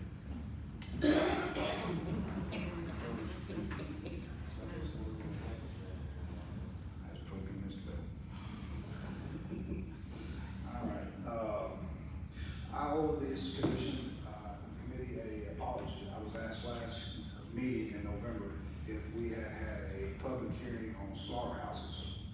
We had, and we did have one at the planning committee level. Uh, you read the regulations, though, that does not suffice for the public meeting that you ladies and gentlemen should have. So my apologies for disappointing you on that. And, uh, I'll move into that. Uh, the other administrative, uh, aspect I have on the table tonight, before you have the resolution to adopt the government review fees for the Hardeman County, uh, zoning office. Tell you a little bit about that, what I did, uh, when Hardeman County adopted resolution requirements and law back in, uh, the early nineties, they set some fees. And basically, to give you an explanation, if you was gonna do a five thousand dollar carport, you pay fifty dollars for permit. You're gonna build a five million dollar facility, you pay fifty dollars for a permit. Uh, these fees, to my findings, some of you have better, haven't shifted over the years of execution of the zoning office. So what we did, we reached out to the, uh, counties around us, Fayette, uh, Hardin, McNairy, Madison, Shelby, and looked at at some of the other counties as far as population and demographics across Tennessee. Uh, Knowing that McNairy and Hardin doesn't have any uh, zoning requirements, uh, we prepared uh, through Southwest uh, Tennessee Development a schedule that best anyway Fayette our neighbor. Anticipating the growth of Hardeman County and what's coming with BlueOval, we thought this would best be an opportunity for revenue. And basically just look to cover the cost of the execution of what permit comes in anything goes through the Board of Appeals and, the other review processes that go through. The That's what I have before you, and I'll wait to read your questions. So, so, you have an idea about how much you're going up? Uh, Uh, we don't have to list at the existing fees, compare this to. Yeah, the, the old, the old zoning compliance permit was, uh, fifty dollars, it's now a hundred. That's still about three hundred dollars cheaper than any county around us. But my next question is, are, how is the department doing from a budget standpoint? Are, y'all in the red so that we need to go up? No, the zoning office, uh, the budget is, uh, you asked a question, so I'm gonna give you an honest answer. We're, we're too budget. We're what? I said, we're too budget, we're tracking to budget. We are where we should be at the midpoint of the year. I think they're underpaid. I think everybody in this administration is underpaid. My two girls who work in my office can go to Lowe's and make more money, or Chick-fil-A, something's wrong. But I'm not here with a budget amendment. For that, I'm here talking about fees and structures. Hardeman County is just not charging what other counties are. But if, if, if we don't need the money to, to, to fund the office, going up just because, I mean, we're not in this to make money. We're, we're in this to, to serve the It public. covers your costs. If somebody comes in with a permit and it has to go through the Board of Appeals and the Planning Commission, the hours that myself or someone touches that is more than fifty dollars. So again, so that means we're in the red, or we're, but, I mean, if it's, if it's costing us more money, then, does, that- does that make sense? If we're, if we're, if we're tracking on budget, That, that's a fair assessment of what the revenues, we don't track the revenue we generate, so it's not a fair statement to say you are, you are tracking. For how the office is staffed as far as labor hours, we're tracking to the man hours that it was budgeted for. Mr. Peter, this, this money goes to the general fund, does it not? It does not. Yeah, it does not. It does, so. It does. It- Yeah, Commissioner Bell, the funds generated goes to the general fund, regardless of the, the zoning office. well, like, you know, I, I, I understand, I'm just trying to wrap my, head- it's basically a tax hike. And before I'm on board with going up on taxes, I just want to say, we want to know why.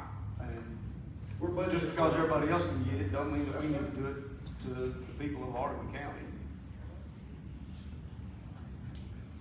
We don't charge, again, we don't charge like every other county, and we're not in line with what the other counties are doing on, as far as permits for residents, mobile homes, trailer parks, and things of that nature. And this is a tent, better structures for what. So we're not currently charging any for those things? or- Fifty dollars, no matter what. Okay.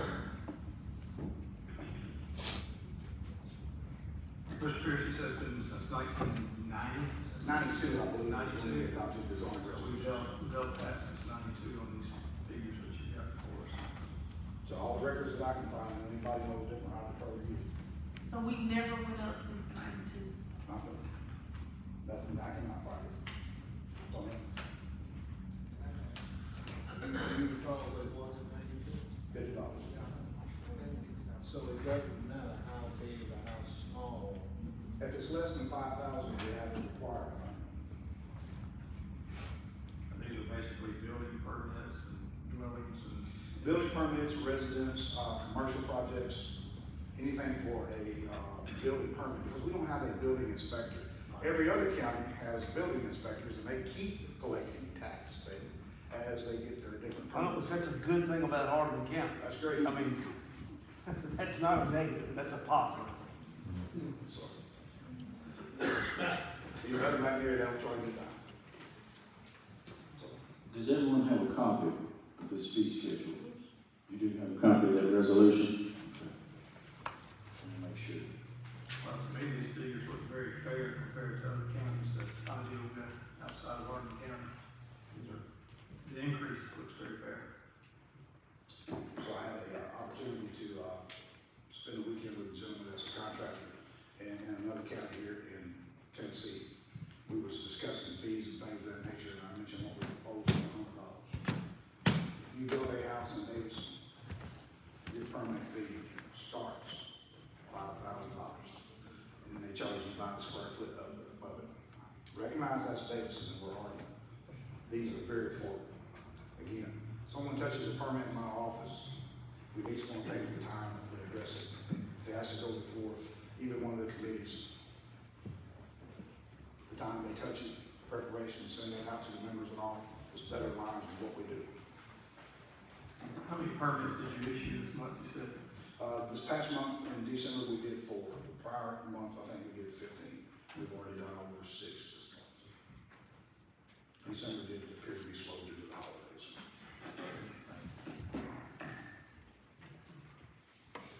Mr. Chris, you're asking for, uh, action on this resolution? I am. Is that correct? I move that we accept the resolution as presented for us. Second. Motion's been made and seconded. Any discussion? Resolution. Seeing none, we need to move in. Since this is uh, affecting the, uh, uh, the money, we do need a roll call vote. Madam Clerk, please. Bell, No, Butler, Yes. DeBerry. Yes. Gillum, Yes. Grantham, Yes. Hensley, yes, Jenkins, Yes. Kennamore, Yes. Lake, Yes. Lanier, Yes. Miller, Yes. Pope. yes. Sane, Yes. Vickers, Yes. Wing, No. Wright. Yes.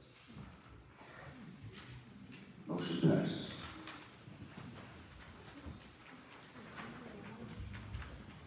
Mr. Peters, Next, uh, item of business, um, Mr. Connors here, and here I want to, uh, basically speak on this, the, uh, what we're gonna have, we have, uh, two issues with previously how the commission voted to zone pieces of property. Um, the two pieces of property were proposed for possible sites of development for Royal Oak. Uh, subsequently, since, uh, that time of those two parcels being voted for industrial, uh, the two individual parcels have been sold to other people that are primarily intentions of using as residential, thus reverting back to FAR, how the properties were zoned to start with. I'm seeking a motion, uh, among the, uh, commission tonight to, uh, rescind the previous vote and allow these parcels to return back to their original designation of FAR. And I'm prepared to discuss either one of the parcels and their location if so desired. I'd like to make that motion to rescind our motion to take it back to FAR. And I second. All right, we have a proper motion made, and we have a second. Is there any discussion? I'd like to say, just clarify those parcels, please. All right, first one is, uh, was referred to this commission at presentation time as the massive property. It was located on map twelve parcel 003, and it was approximately 317 acres in northwest Hardeman County. The second parcel was uh, uh, historically referred to as the Hook property, located on map 9 parcel 008, approximately 186 um, acres out on 138. Discussion? Uh, Mr. Butler? I received an email on this, but, um, I, I have my information tonight. Uh, Michael Ryan, I never replied back because I, I didn't have any information on it, so tell him I'm sorry, I didn't reply back to him because I didn't have any information.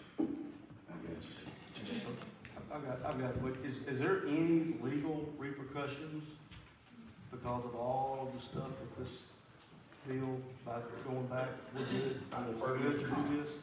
Yes, because essentially what you're doing, uh, when you acted on the massive property in October of uh, 2018 and on the Hooper property in April of 2021, you accepted the planning commission's recommendation, and by rescinding those votes, you're uh, essentially rejecting the planning commission's recommendation and allowing these to stay as if they are.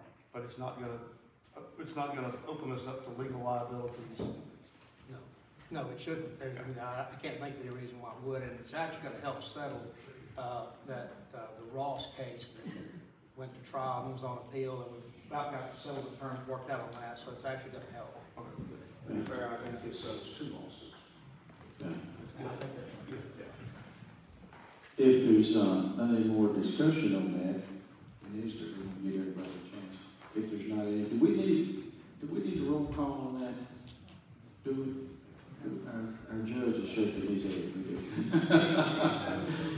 Uh, do we need a roll call? I tell you, let's let's do that because this is a this is an issue of of rescinding. If we could, Madam Clerk, let's have a yes, ma'am. Yes, ma'am. Okay. And there was in 2018 with Royal Oak. Uh, yeah, the massive property was in 2018. Uh, the number two property being the Hope property. 138 was the second pulse, was actually the third pulse site, which was uh, November of 2020. All right, you just got through quoting those computers. The second one on Bill Road or 138? They one on Bill Road. All right. That's it. Um, on that, could we have a roll call, please? Is, I believe that would be proper. Okay. Yes. Butler, Yes. DeBerry. Yes. Gillum, Yes. Grantham, Yes. Hensley, Yes. Jenkins, Yes. Elmore, Yes. Blake, Yes. Lanier, Yes. Miller, Yes. Pope, Yes. Sane, Yes. Vickers, Yes. Wing, Yes. Wright. Yes. Motion carries.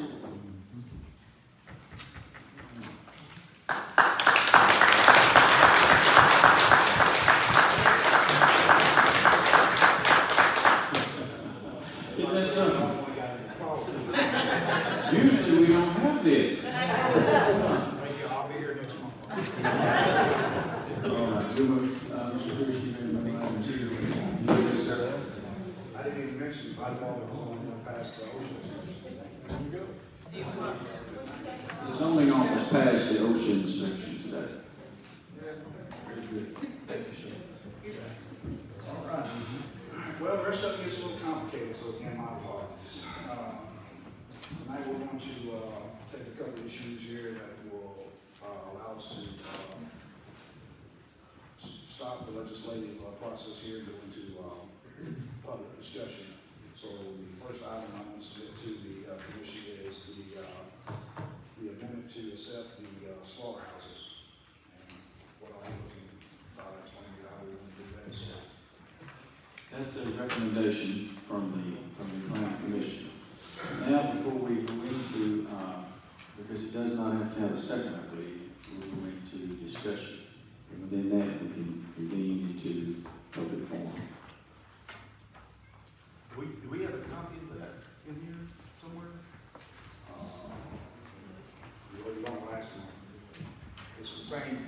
same resolution. I told this commission that we already had our public meeting. It was the one that introduced the language to the current resolution that defined a custom slaughterhouse being of a smaller size, so it didn't blend in with the large scale, of uh, commercial. That defined the number of animals you could process during the day. Already voted on that. Already voted and approved the commission, but again, I denied this commission its public form that you owe the public. And that's what I'm attempting to do now. Move to suspend the meeting, go into public forum, Mr. Chair. Your second. First has been made and second. I think we have to have, uh, discussion on that, if we do, any discussion on that, we're about to move into public discussion on that for the slaughterhouse resolution. Public forum. All right, um, do we need a roll call vote on that? Let's, let's have that, because we're moving out of regular session into public forum. Let's have that, please, if we could, Madam Clerk. Voting, move back to session, are we voting on first slaughterhouse?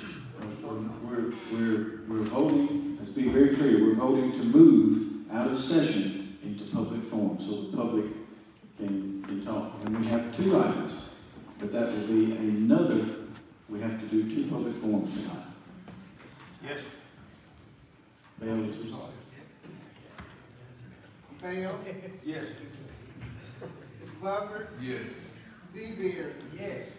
Gillum, Yes. Grantham, Yes. Hensley, Yes. Jenkins, Yes. Kennamore, Yes. Lake, Yes. Lanier, Yes. Miller, Yes. Pope, Yes. Sane, Yes. Vickers, Yes. Wing, Yes. Wright. All right, motion passed. We are now convened into public comments, into public forum. And I have here on the slaughter, um, on the public forum request, uh, for the slaughterhouse, it's, uh, Mr. Mitchell. Mike Mitchell. Good evening, thank you for the opportunity. Um, I wasn't here, uh, last, uh, two months ago, so didn't know this would ever come up, so not here to oppose this, uh, just, uh, let you know that the planning commission, everybody knows, I've been hammering on your planning commission, your boards here for the last year or two, they did an outstanding job on coming up with this resolution, they're doing, they're dotting their i's and crossing their t's, they're on the right track, they're working hard for us, for us now, and, uh, that's really the comment, because know everything's ready to go on that, so it's just for small scale, uh, slaughterhouses, not commercial stuff, so, uh, that's, that's the only. Thank you, Mr. Mayor.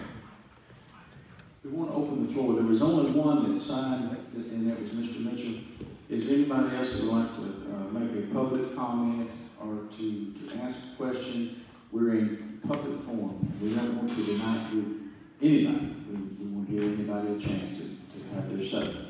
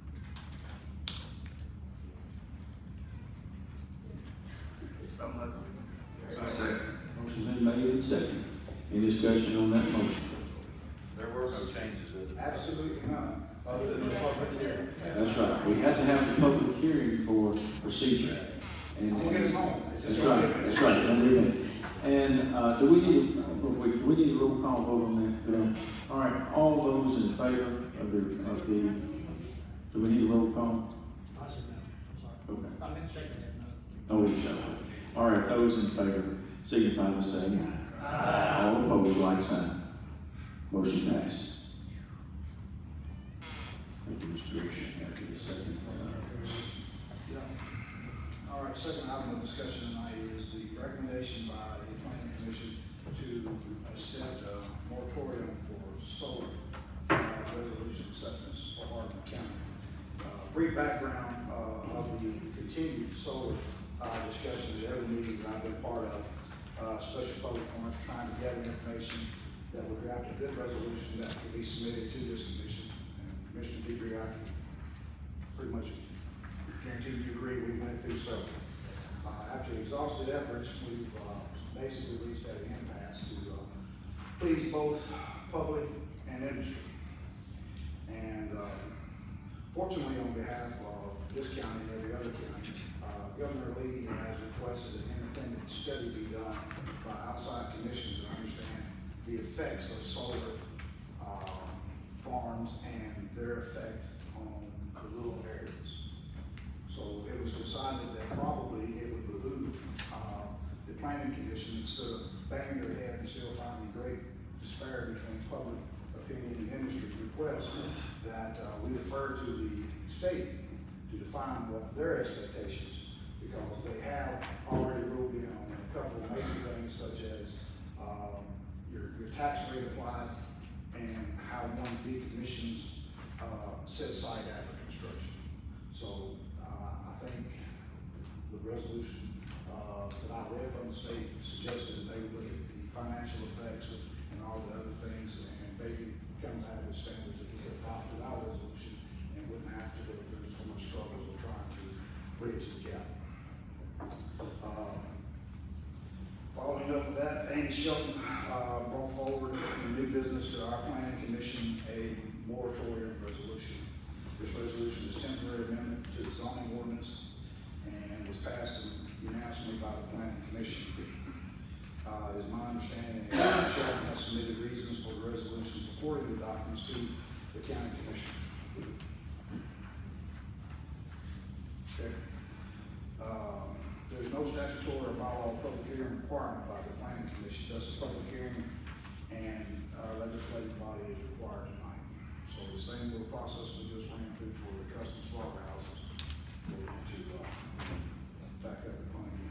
When did you say the state was going to come out? Uh, they've already issued the, uh, the, the order. They are scheduled to have the preliminary report out by September of 23.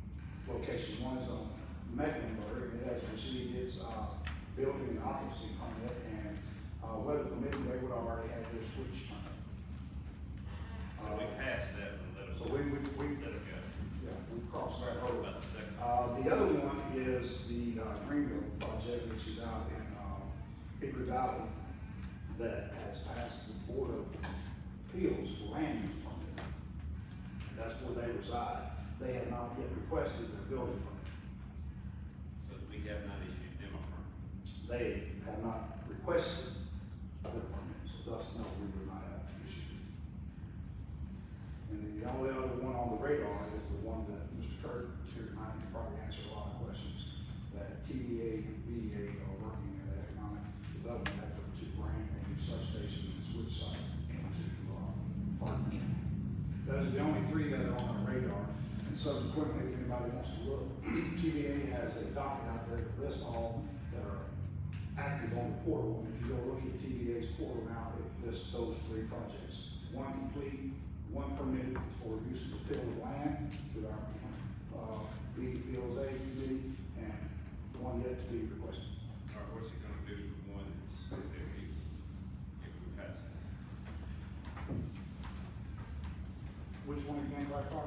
The one in Hickory Valley. The one in Hickory Valley, again, if you look at the status of the one in Hickory Valley, they have it as listed permitted use. We are awaiting a submission review of the final plan.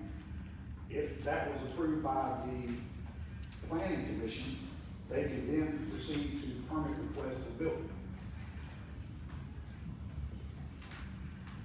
Can you speak to their ask, maybe Mr. Fleming to add more to that? They have not requested. That they have not submitted their final plan, and until you submit your final plan, you're not allowed to request your building permit because we define what you're building to. That plan submitted will go through both these, uh, I think just the planning commission at this stage for approval. And once it was approved and recommended by the planning commission, they would then submit through my office a request for building permits. Are they the only one that has not? They are the only one with a pending use application permit approved, pending the request for a building permit. So if we pass this, and they come next week, what would they do? If we pass this moratorium in the context it is, and they submit a plan to the planning commission, I would think they would not review it pending the outcome of the moratorium state in light of what the state is going to do.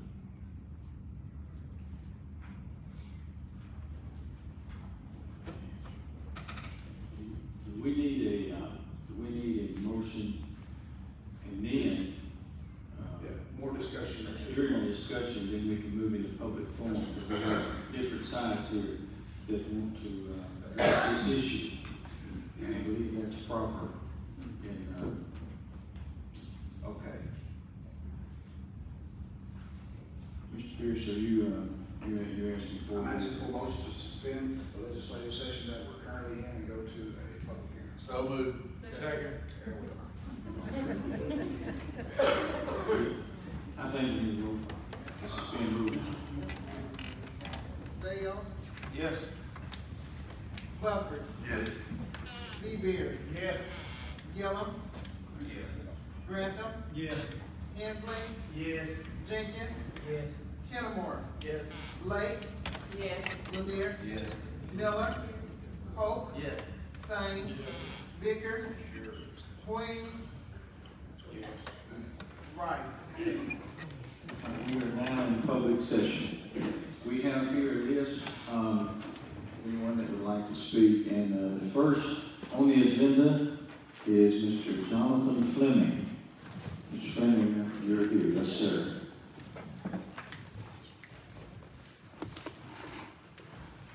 Thank you, kind Commissioners, uh. I'll try to be quick, I know it's late, you've been here a long time, so, um, I appreciate Jim's explana- explanation. I represent Greenville Energy and the Hickory Valley Solar Farms, a little late, we are approved by the Board of Zoning, because I'm gonna talk about three things. Um, I'm gonna try and slow down to have a lot to say, but I wanna keep this moving, so. The, the, I'm gonna talk about our project briefly, just so you have context, and in response to some of your questions, Commissioner members. I'm going to speak about the opportunity the county has with solar to help keep taxes low. And we've done a survey in the county, we hired a third party, party to carry out, and our posters here to talk about that. I'll focus on our project, I'll, our council will be here to talk about my proposal to you briefly. Our pollster will speak briefly about the survey and can give you some information on our research in the county. Before I start, I'm sure you've heard a lot of concerns about solar in the county. I'm gonna go ahead and address a couple of them. I've heard a lot. I've had some tough questions from many of you in my meetings with you, with the mayor. Um, and one of the concerns I've heard is that the solar panels are going to leach chemicals into the soil, and that's going to contaminate the site over the course of the project life. I have a study here from the state, North Carolina State University that I'm gonna leave with the county clerk. I sent it to some of you. She to the rest, or I can send you a copy. that shows and concludes at the end that the negative health and safety impacts of utility scale PV development are negligible. And it addresses the leaching issue specifically, that solar panels are subject to TCLP testing and the leaching uh, of toxins into the soil is something that is covered by EPA testing and not, not above the threshold that we consider dangerous.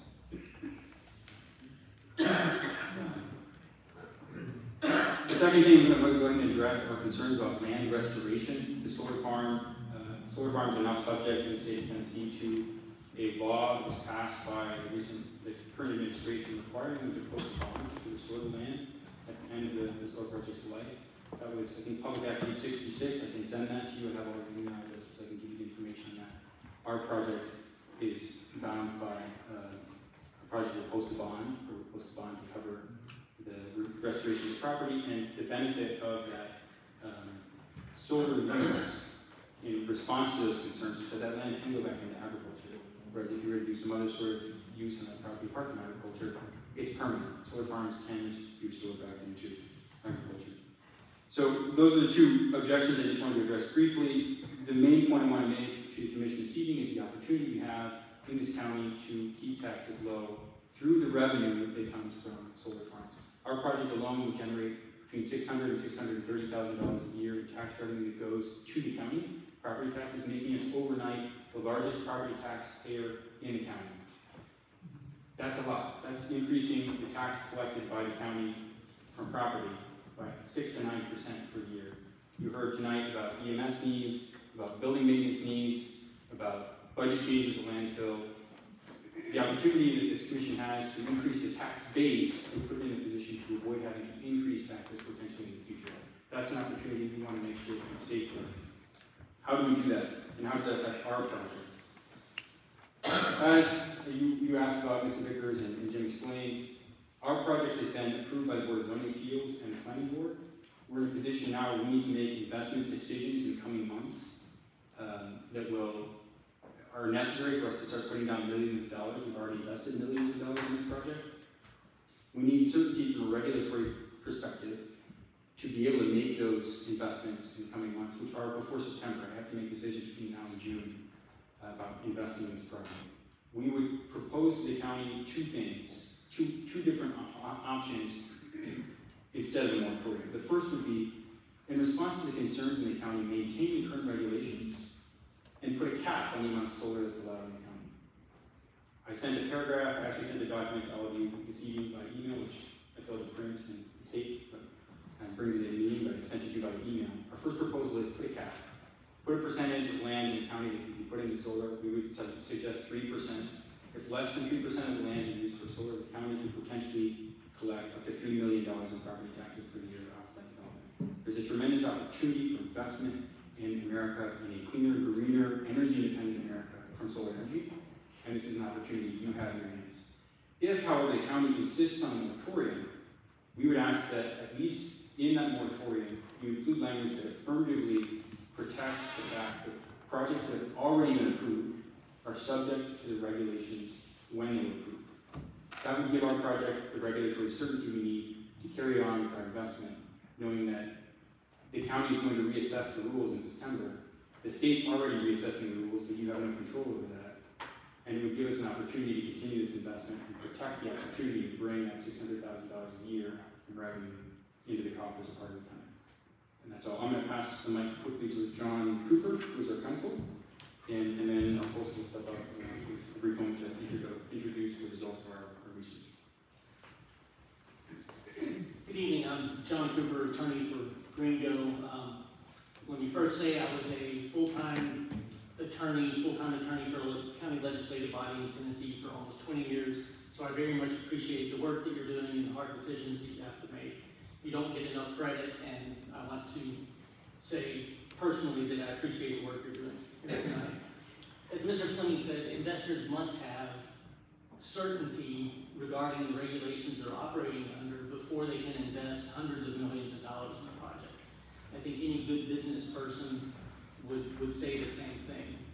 Uh, as Mr. Fleming said, this company has already invested millions of dollars in this project based upon the approvals that it's received from the planning commission and the board of zoning appeals, and then we'll be submitting the final plans for building permits.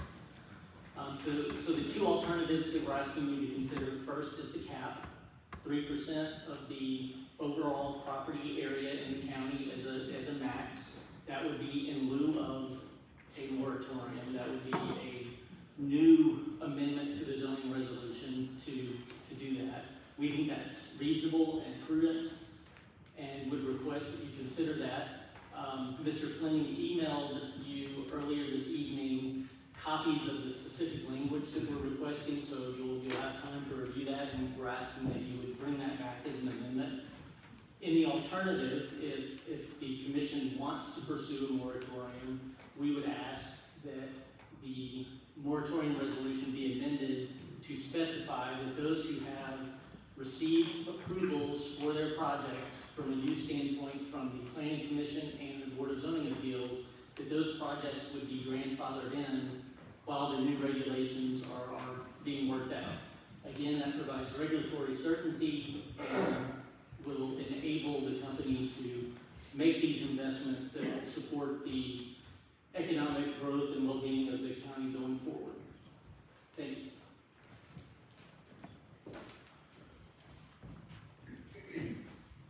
Good evening, commissioners, ladies and gentlemen. Paul Rivera. I am uh, Vice President of uh, Research, Media, and Public Affairs for, from Houston, Texas. Um, we have a number of clients in the government, um, private, nonprofit sector, covering energy, transportation, infrastructure, housing, healthcare, education. And every client is different. But what they always want to know is, what do their customers, or in the case of county government, when we work for them, what do taxpayers think? And what do they believe? Polling, which we do, is sort of like a blood test. We don't have to drain your body to know if you're sick, to know if you're healthy, or what you need. We need a sample. A little small sample of blood can tell us everything. In this case, we did a polling sample of 408 people from Hardeman County. Some of the folks here probably were interviewed as part of that process. And as we surveyed people, we wanted to know what they think. So we asked questions in a structured way to try and understand how they would react to this particular um, project. We looked at the census from 2020 and made sure that the sample we pulled was representative of your county. We looked at race, age, gender, and the geography to make sure that we were getting people from all over the county, from every walk of life. And here's what we learned. And again, there's a lot of stuff, so I'll be very, very brief. The first is, is that people of Hardeman County support energy independence for America. That sounds really easy, and of course everybody generally supports that. But what we did is we did it in the context of what's happening with energy prices right now around the country. And we asked people if they thought that what we should do is think about energy independence through the lens of diversification of sources, thinking outside just the carbon box and looking at alternatives. And 83.7% of folks here in Hardin said yes, they support that. We then asked a question specific to solar. We talked about how Tennessee already gets a majority of its electricity from sources other than natural gas, oil, or coal. Right? 60% of your energy in Tennessee comes from hydro or from nuclear. And we asked, do you think, as we continue to diversify, should solar be a part of that mix? 69.6% of folks in Hardin County said yes. We then described this particular project and asked people if they had heard about it. Fewer than a third of the people in Hardin County said they had heard about this project before we asked them about it. Now there are a lot of opinions that people have about it. And what we tend to see is that the loudest voices get the most attention. But we do know that a lot of folks didn't know much about it, and they had questions. So what's very interesting to us is by the end, we presented a bunch of arguments for and against, different alternatives, different viewpoints. 63.4%, big number, said they would vote for the project if it was up to them. If it was their vote, would they support the project? And 63.4% said yes. And this cut across every region of the county, all racial groups, age groups, gender groups, all party lines. People were supportive. Now, when we put the arguments in front of people, there are still some very real concerns that people in Hardin County have. Those concerns are about what happens to tenant farmers. Those concerns are about what happens to the neighbors who are next to this. What's their view going to be like? Is there going to be glare? Is something that happened to them? What happens to the property values of neighbors? Do they go up so much that now people can't pay their taxes? These are legitimate concerns, but they're offset by the benefits that were presented honestly and fairly in the sense of the 600 some odd thousand dollars a year in tax revenue that comes to the county without adding more services that are needed because once it's built, it just sits there. Doesn't need water, doesn't need roads, doesn't need police, doesn't need fire, doesn't need any of those things, just sits. The benefits that are, that, that come from the impact on consumer prices. We all know, we all learned this in school, right? Supply and demand. More supply helps us meet demand. The care that was taken with site selection, less than six percent of the land here in Hardin County could hold something this big, right? It's a very small place within your county that is close enough to transmission lines, far away from schools, far away from people and their homes and ready to do business.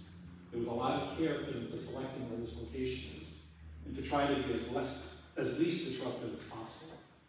And then the last part connects to the reality that we're in a growing world, in a growing economy. You can hope inflate. Just look at the prices, they're all going up. The need for more supply is real, right? The BlueOval project in your neighbor, neighboring county, it's gonna, it needs a lot of power. And what that means is that everyone else is gonna face increases in their rates unless we find some way to generate more. This is clean energy, and it will work for your county. I'm happy to take any questions afterwards, anybody else. Thank you all very much.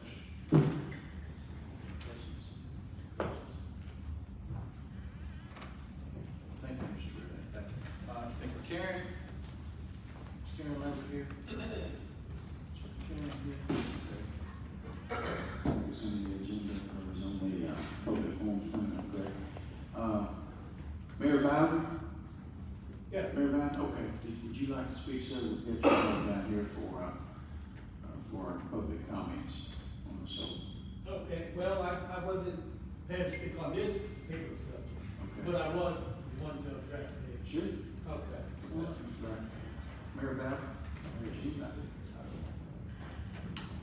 Mayor, can you only discuss solar the, The, the, uh. I mean, that's what we're under This is a public public hearing. comment. Yeah, this- yeah. I, I, I just had, um, I just wanted to highlight something, so that's why I sat and not got involved in this. I just wanted to highlight the event that's taking place. Uh, but I wasn't on the list for this particular address.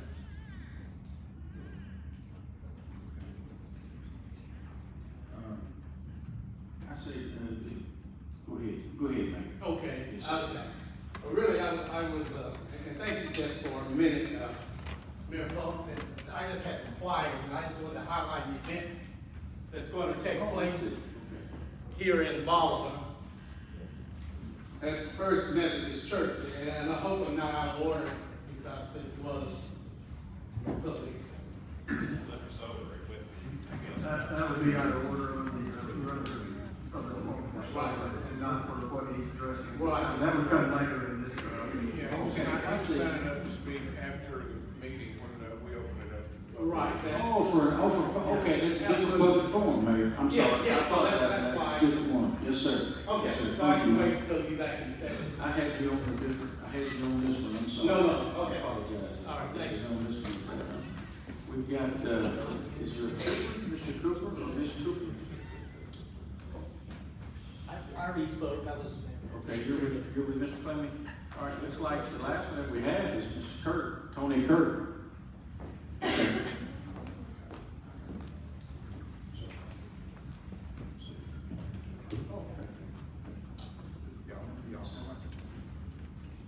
Okay, thank you, Mayor and County Commission. I just wanted to give you a little benefits that BEA is receiving for our partnership with Silicon Ranch and our solar farm. We, we're one of the, the Mecklenburg solar farm, three point four five megawatts, which is a small farm, covers about eighty acres. But it power to 300, 500 homes in our county. Um, it has been a, a great benefit to with Silicon Ranch. They're a first-class operation. But what this farm is doing for us, we signed a thirty-year lease with them. They own the farm, we buy the power farm through a TVA program called the flexibility program, where we are able to buy, buy five percent of our load from somebody else.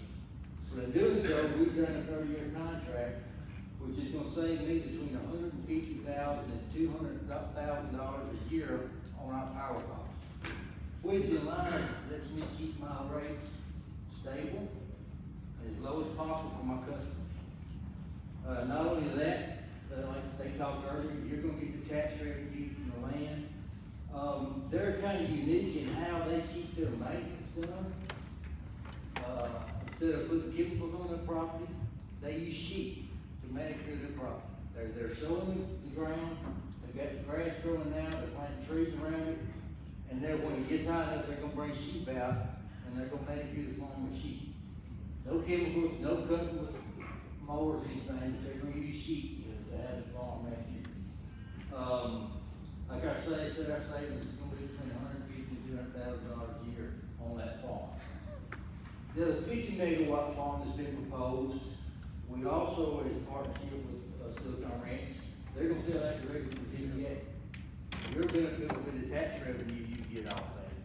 My benefit will be that they will pay me to upgrade my substation at Hebron at the price of about two two and a half million dollars. It will not be coming from ratepayer money, it will come from me borrowing money, but Silicon Ranch will pay me directly for that. So it's a savings all around for me and my ratepayers, and it, it's, it's, it's a win for us at BEA. So, thank you very much. If you have any questions, I'll be glad to ask them after we get through. How's the sheep gonna go up? Price of sheep gonna go up? Price of wool might go up. Thank you, Mr. Kirk. And, uh, Mike Mitchell, if you want to speak on the solar issue, I've got you here on this.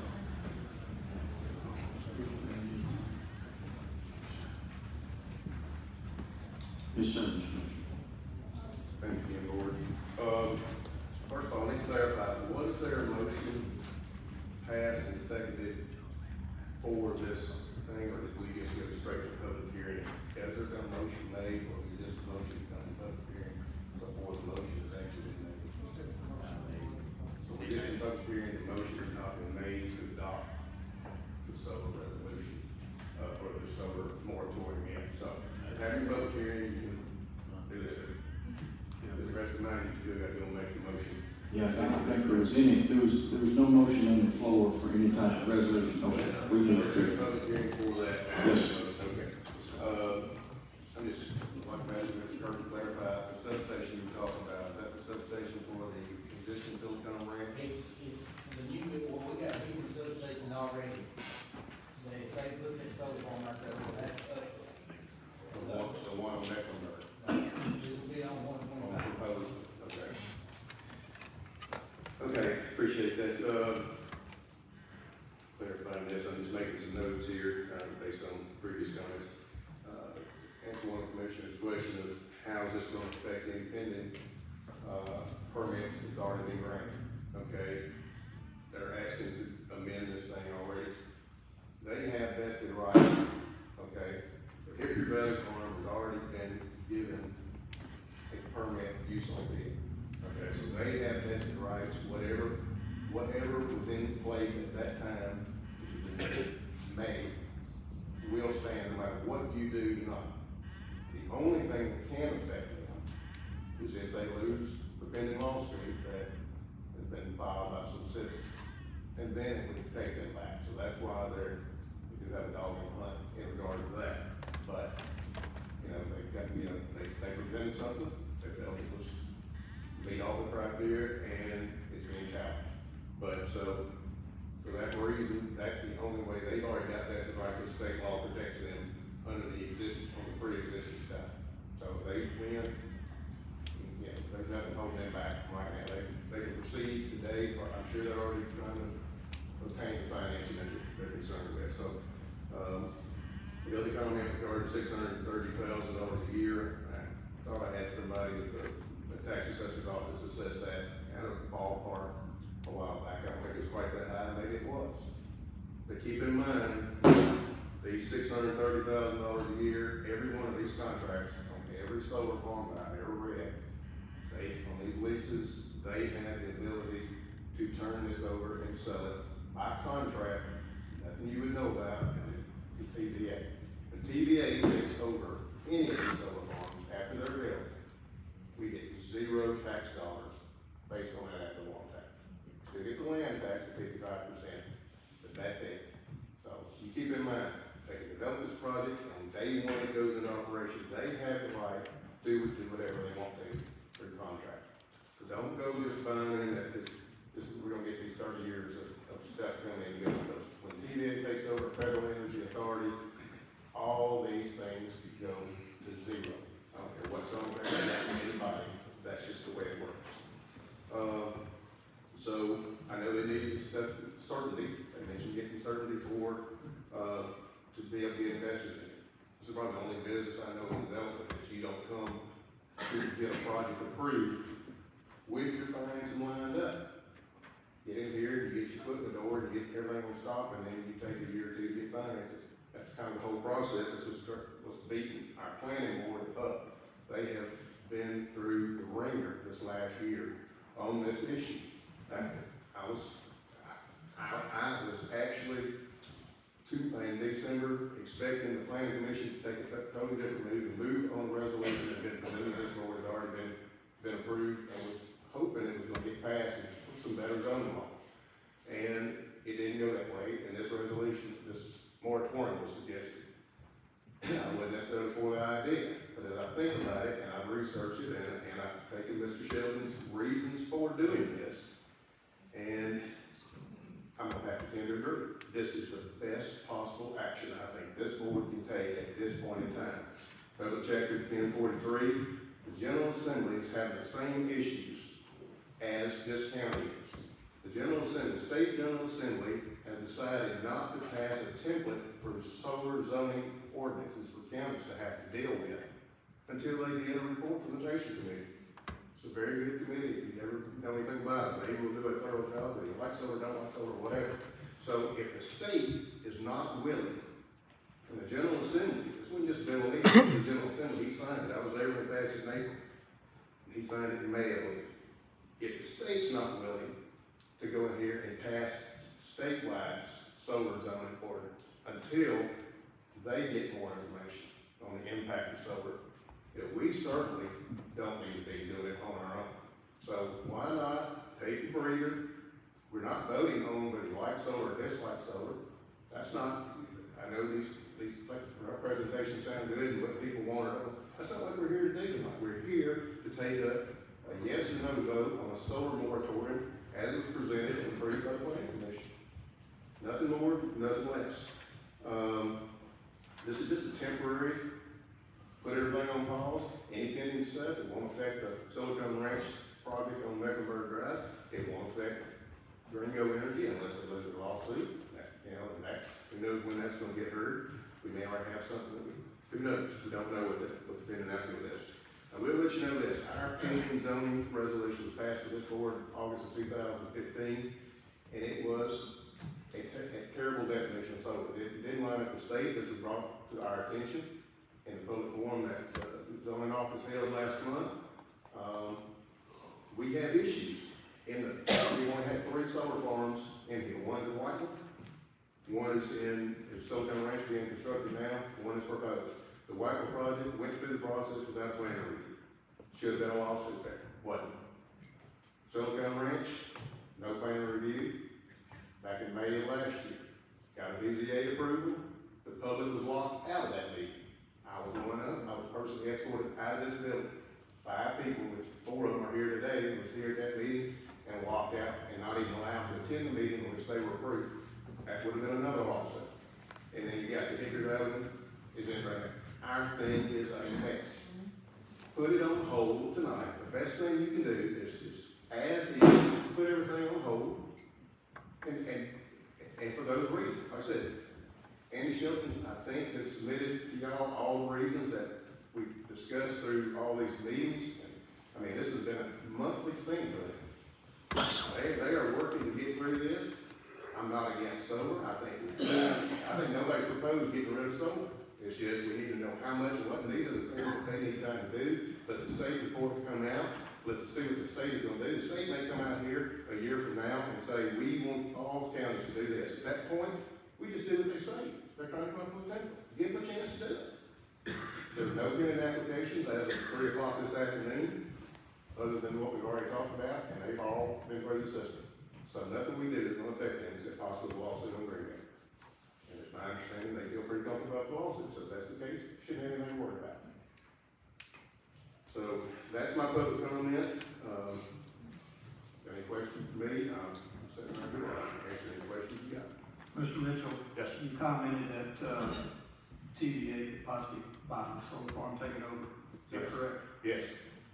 To your knowledge, how many farms has TVA purchased in the last ten years? TVA is not, this is a federal energy policy we're talking about, okay? No, no, I, I mean. How many farms is all I'm asking? yeah, they, at this point, TVA and, and federal are not doing this. They, these, these, these solar entities that we're doing now are basically doing the legwork of the federal government. So federal policy, they're not, they're not prepared to take that political stand and say, TVA, you can initiate eminent domain, or we're gonna throw enough money, so you go out here and buy all this land and put it under solar. It will be under solar, I mean, un- under TVA's authority at some point. It's just gonna be a question of how big of, of a network they build before it becomes part of the grid, and we're just gonna, it's just gonna be what it is. And we, and that time will come. So your answer is?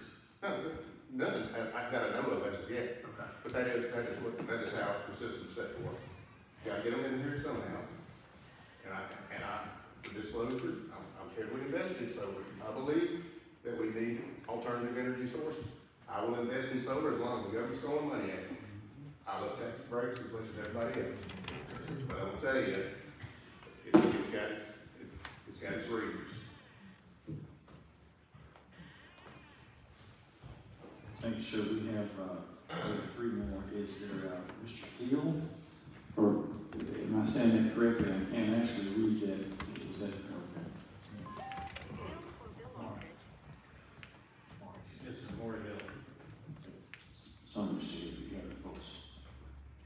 thank you so much. Uh, my name is Maury Hill, uh, and I am with Silicon Ranch, uh, the developer of two of the projects that have been, uh, discussed here. And first, just want to say thank you so much for all the time, and energy you all have put into trying to get this right with solar regulations. Uh, I know, uh, Jim is about ready to block my number. Um, but it's very clear you all are taking this seriously. So, one, first, Jim referenced three projects that are in the queue for the local grid. One being a project off Mecklenburg Drive that is uh, complete, and wasn't for bad weather, we would have already flipped the switch on it. Um, and then two is Ringo's project. Uh, and the third was our project out on Keyline Road. It's a fifty-five megawatt project, and, um, we would like to propose that, uh, the moratorium is amended to exclude projects that have a current contract signed. So, uh, this moratorium would essentially mix this project for us, but we already have a contract, essentially a power purchase agreement, PPA signed with TVA for this project. Um, And so, also want to dive a little, little bit into why, uh, why that's not a great thing. Um, one thing that separates us from some of some other solar developers is we buy the land on our project. So I think we were talking about this leased land, it could get sold to another developer to operate, could be sold to TVA, but we buy the land uh, for all of our projects.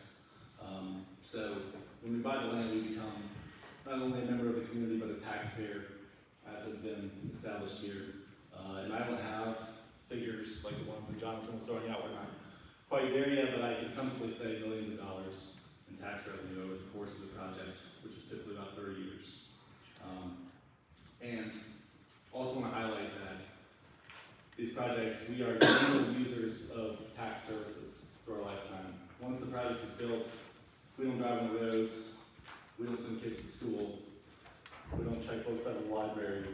We are, are there and we're paying taxes for thirty years for the duration of the project. And again, we own the land on almost all of our projects, but we will be owning the land on these projects. Uh, so the moratorium was proposed because of the timeline.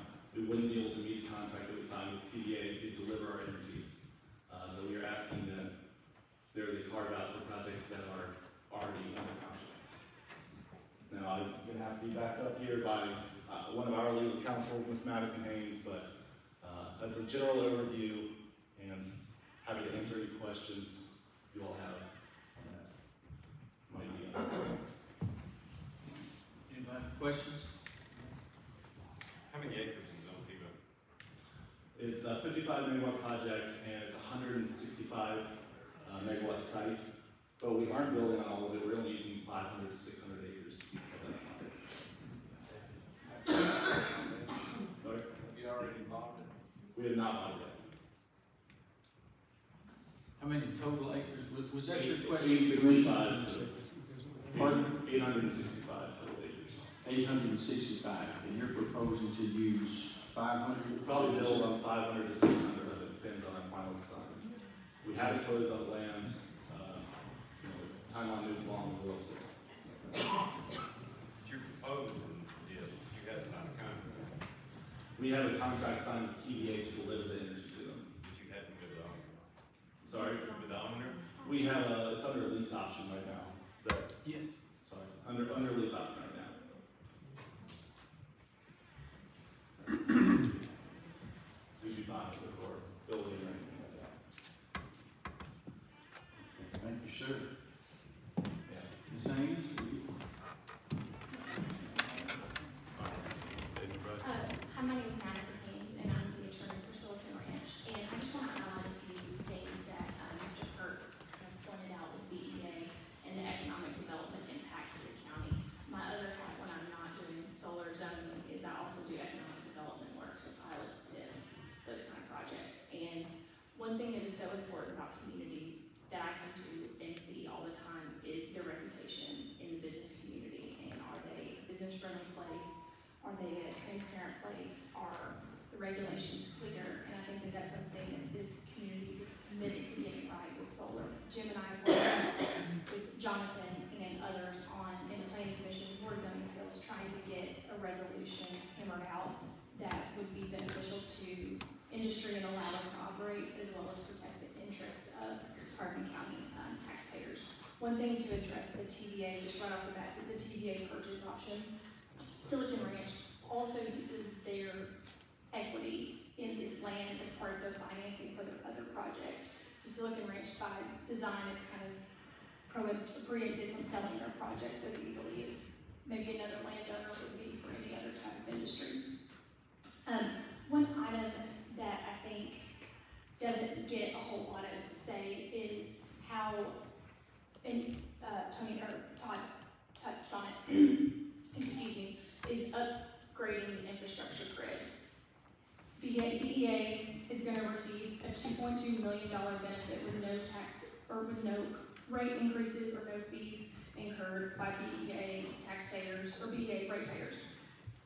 It also is going to provide the, um, the community an opportunity to receive all of the funds from this tax money to be spent in any way possible. Doesn't have to be spent on us, it's been hit, it's been hit on a thousand times. No, no fire, no rescue, no water, no schools, no libraries. Um, the risk to Silicon Ranch is enormous on this project, um, as well as to BEA and the and defaulting on TVA's project. Um, when TVA contracts direct pay projects, they are contracting them for a specific economic development project. So the TVA bids the project, they award an RFP to a solar developer, um, in mind for a development partner that TVA then has contracted with to guarantee power to this company, um, that is unnamed, at least to me, but is known to be an economic development driver, um, in the community and wants and needs this power. And so allowing this to, allowing our amendment to the moratorium to just also allow for this contract to be honored with TVA would provide our company the the contractual protection that we would need to be able to move this project forward under the same regulations that we have now. And if those also needed to be tweaked in the moratorium language, um, I think that we're happy to, to do so and to work with, to continue to work with the community, because I believe in, um, an amendment would need to go back to the planning commission anyway. Um, so I'll be happy to answer any questions that you all have about this project or about the consequences of, um, the moratorium on the community as well as just on economic development overall in West Tennessee. Any questions? Questions? And, uh, let me ask please real quick, do you have the, you were talking about the amendments, do you have a, um, an amendment ready? Do you have anything that's proposed that you, given to the commissioners already is? We have not given it to the commissioners, we wanted, we ran it by Jen and as well as we have sent it to Dale Condor, um, and that is, that is where it stands currently. So we have one, just a minor tweak or two, if Okay. you give them. Yeah. And it would just allow for an exemption for TVA contracted projects. That, and that would be a cutoff, and as of today with the interconnections, it's just the three projects in Hardeman County that we've all discussed. Okay. Mr. Chairman, I have a question, and this may be for uh, Jonathan Clay. Does, uh, Greenville have any amendments available John, for this? I think John does. Okay. Yes, sir, we do have two alternative amendments. Those were emailed to you earlier, uh, kind of right at the start of this meeting. We wanted to propose the idea and then give you time to reflect on the amendments, but you do have the language that has been submitted. And, and those were, I believe you had mentioned there are two options. There was a three percent cap on, for the land. And then the other one was to include already permitted projects. I believe, was that the second? Or there was an option, either or. Yeah, either or, yeah. Is, is there anybody else on our, uh, Patrick?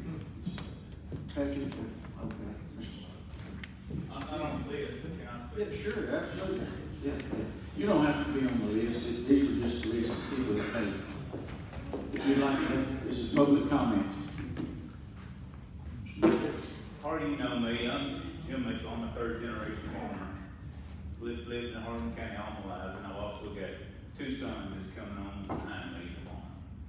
Um, I didn't come here tonight to speak, I come here to listen, but I, I hear all the, the stuff that's coming on about the, the solar stuff.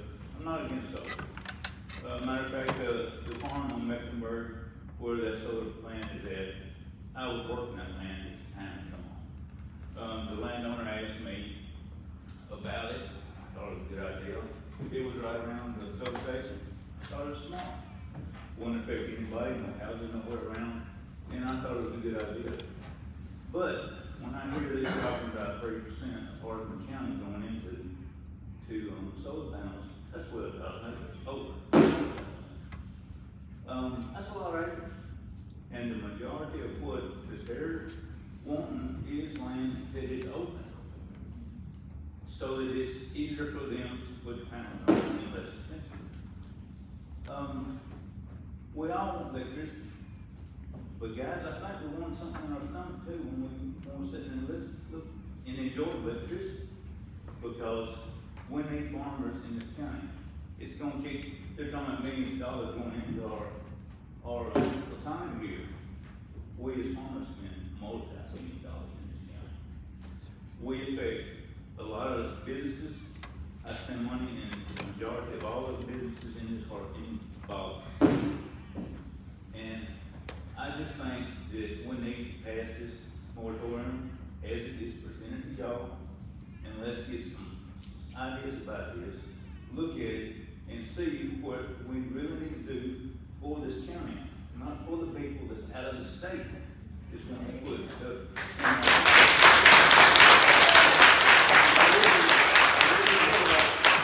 Each one of y'all are great people, and I appreciate everything that you do. But let's look at this on, for Hardeman County, of the people in Hardeman County. Um, when we lose that many acres out of production in this county, we're losing farmers. We're losing people that creates jobs. This is not gonna create jobs in this county.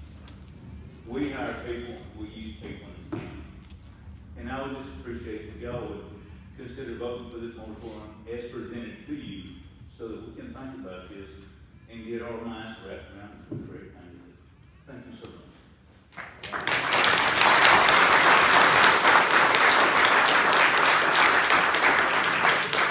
Are there any others? Patrick, uh, Cooney? I'm, I'm okay. They, they spoke for me. Okay, you've already been, been spoken for, all right, yes, thank you, sir. Yes, ma'am. Good evening, Mr. Mayor. Good evening, Commissioners. Good evening, neighbors. Um, I'm Lisa, husband John Mobius. Uh, we're actually the farm that's, we're gonna be surrounded by solar panels if this happens. Um, it is what it is.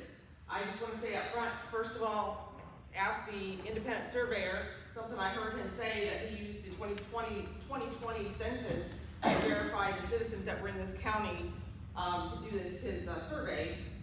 We moved here last year, we were not here, so how do I get called? I can corrected if that was incorrect information, but that's what I heard him say, so I don't know how I got called when I wasn't here in twenty twenty. We just moved here last year. Um, my husband and I are not against solar, we're actually very pro-solar. Uh, we're in the process of looking at solar, uh, systems to put on our property right now, uh, with generator backups and that kind of stuff, so we can be self-sufficient.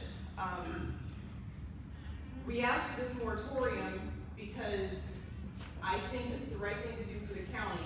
I think we need to be sure that we, we are, we have the right policies, the right procedures, the right regulations, the right laws in place before we go further, before we go further with our solar, um, so, so, the solar farms in this county.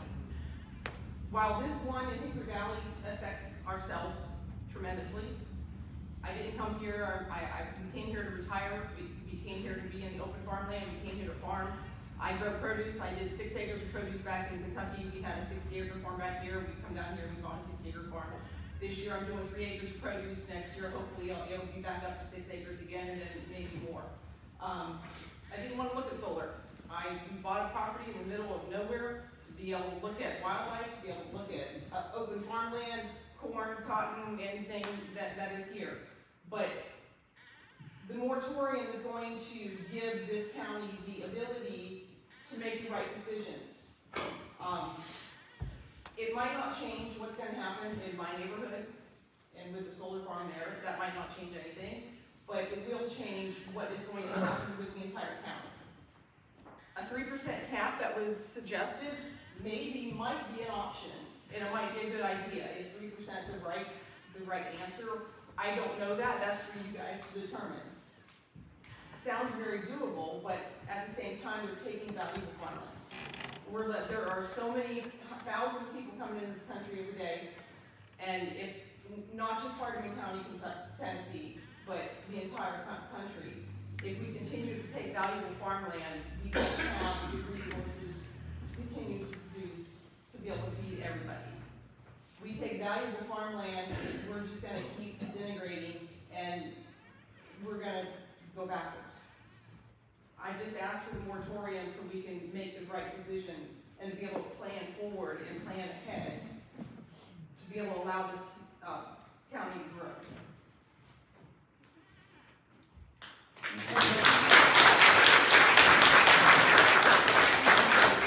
Um, I just have one thing to add. I know most of the people in this county get their energy from BEA. There are other energy sources for some individuals like ourselves. We do not get, we are not supported by BEA. So any funding that goes into them does not help us at all. So just want you to think about that. There's not just us, there's other individuals in this county that are getting their energy from somewhere else. Thank you. Thank you, ma'am. Now, that, that has concluded the people on this list, but let me ask, is there anybody else that has not been heard? We'd like, this is what this is for. This is an open forum, and we, we're, we want you to be heard.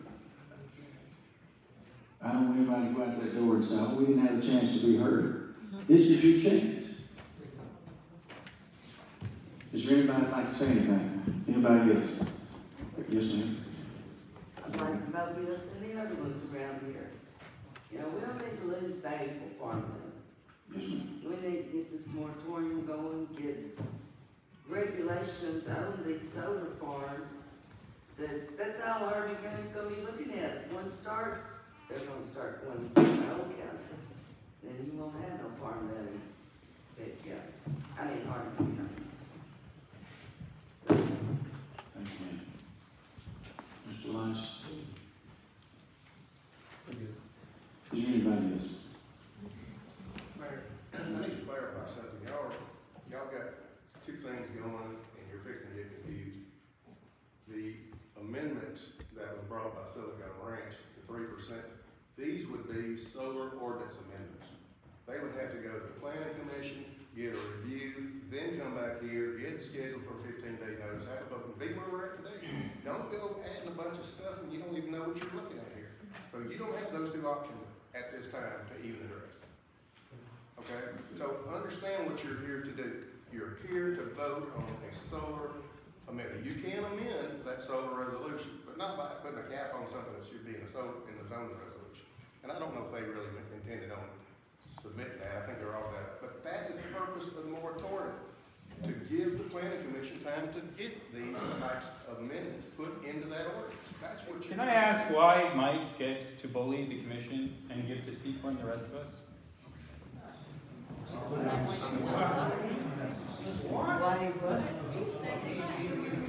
I apologize. Gentleman back here. Trying to clarify. I'm gonna clarify with my boss, who says not there, we will not be taking any amendments.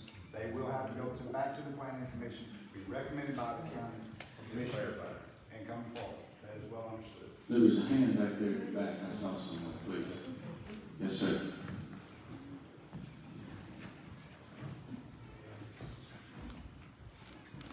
Good evening. I'm Gary Fairclough. Unlike most of y'all in here, I'm new to this county. I wasn't born here, my family's not here. We chose to come here. We moved here, we looked and said, where do we want to retire? And we chose this county. Now, I don't know about the rest of you, but it just warms the cockles of my heart that these fine attorneys have come in and told us what would be the best thing for our county. Now, agree or disagree with them, but I wonder, they say that the, the gentleman says, oh, we're, your neighbors. Do you think any of these guys are gonna be living within five years of these farms? Good question, kind of a good question to ask. You heard the expression, fools rush in? Well, we don't want to be foolish about this. It isn't gonna kill anything if we take just a little bit of time and look at the options. Moratorium, whatever you wanna call it, let's give ourselves some time to make good, sound decisions, all with good information. And I'm a free enterprise person, and I, and I hope all these people make lots of money. I really do, because that's what keeps the wheels going. I wanna make sure that we do it in a proper way that benefits our county in the long run. It is not always just about the dollar. Sometimes we have to look at quality. Thank you.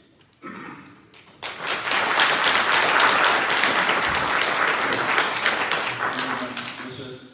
Hey, I'd just like to say, they've, uh, the people from the solar companies have mentioned that once the solar farms are complete, that they don't use any county services or the roads or anything like that.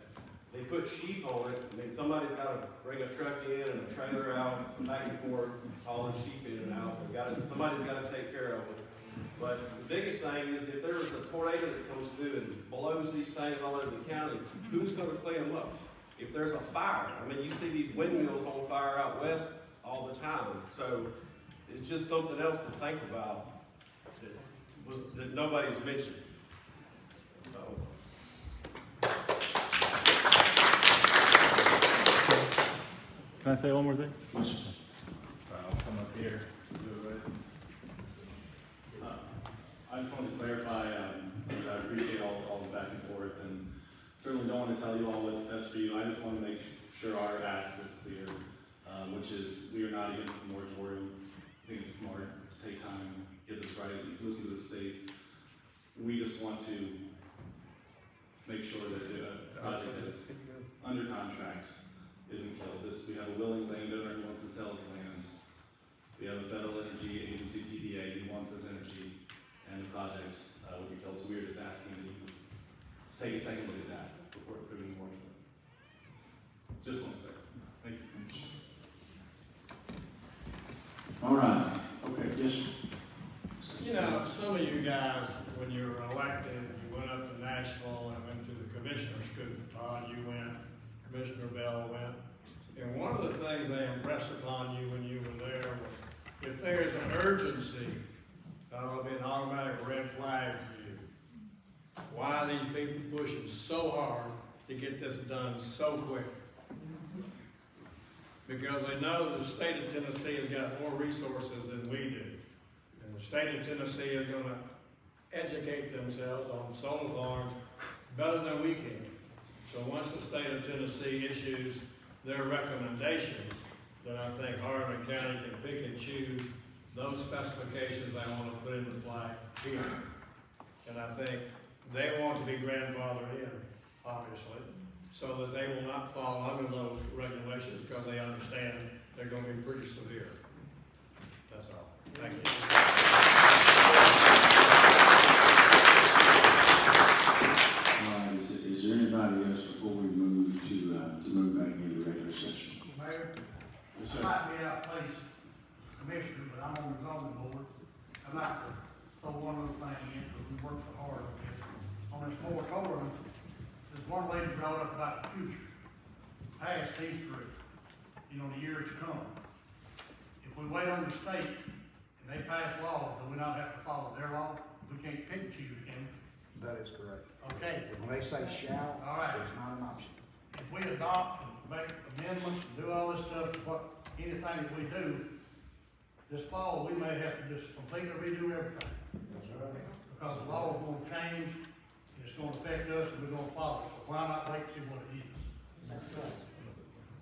We worked hard on this mess, it's time to do something, to get somebody above us, or somebody that can tell us what the law is, we go by. Keep, get us, this old saying goes, get us off the hook. All right, is there, uh, since there's, uh, no other one to rise? Mr. Chair, I'll, I'll make a motion to move back into executive session. Second. Have been first and second, and, uh, any discussion, I think there probably will be any. Mr. Connor, do we need, on that, do we need to accept, say, uh, we don't need a roll call on that, just move into regular session, executive session? Okay, all right, uh, all in favor, signify by saying aye. All opposed, saying none. Uh, now we'll move back in, and we may have gotten the cart before the horse on that, uh, uh, but I think it's very clear what, um, what may be proposed. So, so I apologize if we did, and- and certainly didn't mean to. Mr. Pierce, you have the floor, sir. Did we vote on the slaughterhouse? We did. Good, we probably should have known. Yes. Uh, the other motion, uh, the planning commission, uh, seeks a motion to accept the moratorium that was submitted to you in the package. Okay, we have a first and second. Is there any discussion? I would ask for a roll call vote. No discussion, we will have, and, and please, We, we're voting on the moratorium. Are the permits that are out, are we gonna allow them or are we not gonna allow them? Let's discuss. We're doing as is that you presented. Moratorium as submitted allows, uh, for no additional permits to be issued. Other than the ones that's already, or the ones that are received. Again, we got three, so one is approved in the we turn the switch, and it requires no more permit. The second one is approved through the Board of Appeals for land use to put and design a solar farm, and it's not requested a permit for building. And the third one hasn't even filled out the application, but they are contracted with TVA.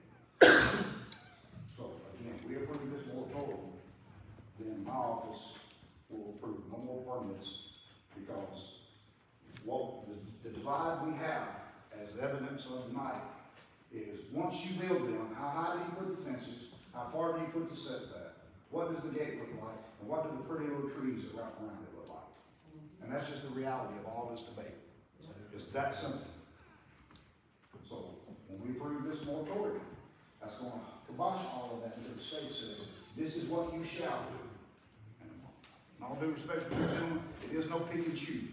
When the state says you will and you shall, that's not debatable. And if we don't, if we don't do something, let, let's go ahead and address it. Solar farms are not gonna pop up everywhere. Here's the truth, there's only so many places they can go. And it's not three percent, and I wouldn't approve, I wouldn't support that. There's only so many transmission handoffs that you can get on the grid. And to go beyond that, it will take TVA to update their grid, and they're not gonna do that. So, that's where we're at. Mr. I'm Pierce, seeking a motion to accept the moratorium. and from the, and that's a recommendation from the planning commission. That is the recommendation. And we have the planning commission member here, Mr. DeBerry. All right. We have the first and second, seeing no more discussion, we'll have a roll call, please, sir. Madam Clerk. Bell, Yes. Buffer, Yes. D. DeBerry. Yes. Gillum, Yes. Grantham, Yes. Hensley, Yes. Jenkins, Yes. Kennamore, Yes. Blake, Yes. Lanier, Yes. Miller, Yes. Pope, Yes. Sane, Yes. Bickers, Yes. Wing, Yes. and Wright. Passes. Mayor, that concludes my activities. Yes, sir. It was fun. Yes, sir. All right, and, uh, we have already discussed this earlier from Dale, from, uh, Mr. Condon. You have no business to be brought before the commission at this time? Is? All right, uh, quickly for announcements. Um, I would, yes, sir. Please, let me have your attention, please. With this mediation coming up on the uh, Fair Labor Standards Act, we do need to, uh, have the commission appoint somebody to go, to participate in the mediation with you. I think it'd be a good idea to have somebody there. Is there a recommendation from the uh, commission? I like her. John is the mayor. I second. Any discussion on that? All right, no roll call vote on that. All those in favor? All opposed? All right. And then, uh, of course, uh, let me say this. Yes, sir. Anything that is, any business done there, will come back to this full commission for approval. That is correct, for any type of settlement. And then, uh, announcements real quick, um, Hardeman Adoptable Animals, uh, they need volunteers. And, uh, I want y'all to be mindful of that if you could have, uh, the ladies provide a great service out there, and they need help. And if you know anybody that would like to help them, uh, please go out and, and, uh, and see, see what they do out there. And, um, our next commission meeting, February twenty-first, and Mayor Bowden, I want to give you a chance, please, sir. Um, As, as our mayor of Whiteville, is about to, uh, about to have some great things going on in Whiteville. I promise you, uh, mine is less controversial. Yes, sir. I, I just wanted to highlight something that's gonna take place here in Baldwin on, let's see, it's gonna take place February the eighth. It's project assimilation, some of y'all might have been through that. If you haven't, it's a good opportunity for you to, uh, actually look at some of the people. Now, we live among people every day that are in college or at the college line that are struggling to just make it through the week. And, uh, you know, there's old adage that you never know what a person's going through unless you walk in their shoes. And so it's an opportunity for you to see how a lot of people live. And it might force you to ask the question, what can I do? But why should I even care? Well, uh, you know, a lot of you know um, theology uh, added here. Well, you know, uh, I think we should be concerned, all of us have a right to be concerned about those that live among us. And uh, we live in a society now where there is less concern about the least of these. Uh, can we have order, please? Yeah. Uh, Mayor Bowden is speaking, and we would like to have respect for him, for our guest, please. Thank you so much. Yes, sir. And, and I, I, so if you can go, this is gonna be at the First Methodist Church, two eighteen West Market Street. It doesn't cost anything, it's an eye-opening experience, all they ask you to do is just register, so they'll know how many people to attend. And, um, I went through it, and it really is an eye-opening experience. I know Mayor McTizic went through it a couple years ago, and we just hope that you will sign up and check it out so that you'll have an opportunity to see how the other uh, people live, some of the struggles that they have to go through on a daily basis. That's all I'm going to say. Thank you so much. Thank you, Mayor. Thank you, sir. seeing if there is no other business before this commission, I will entertain a motion to adjourn. You are adjourned.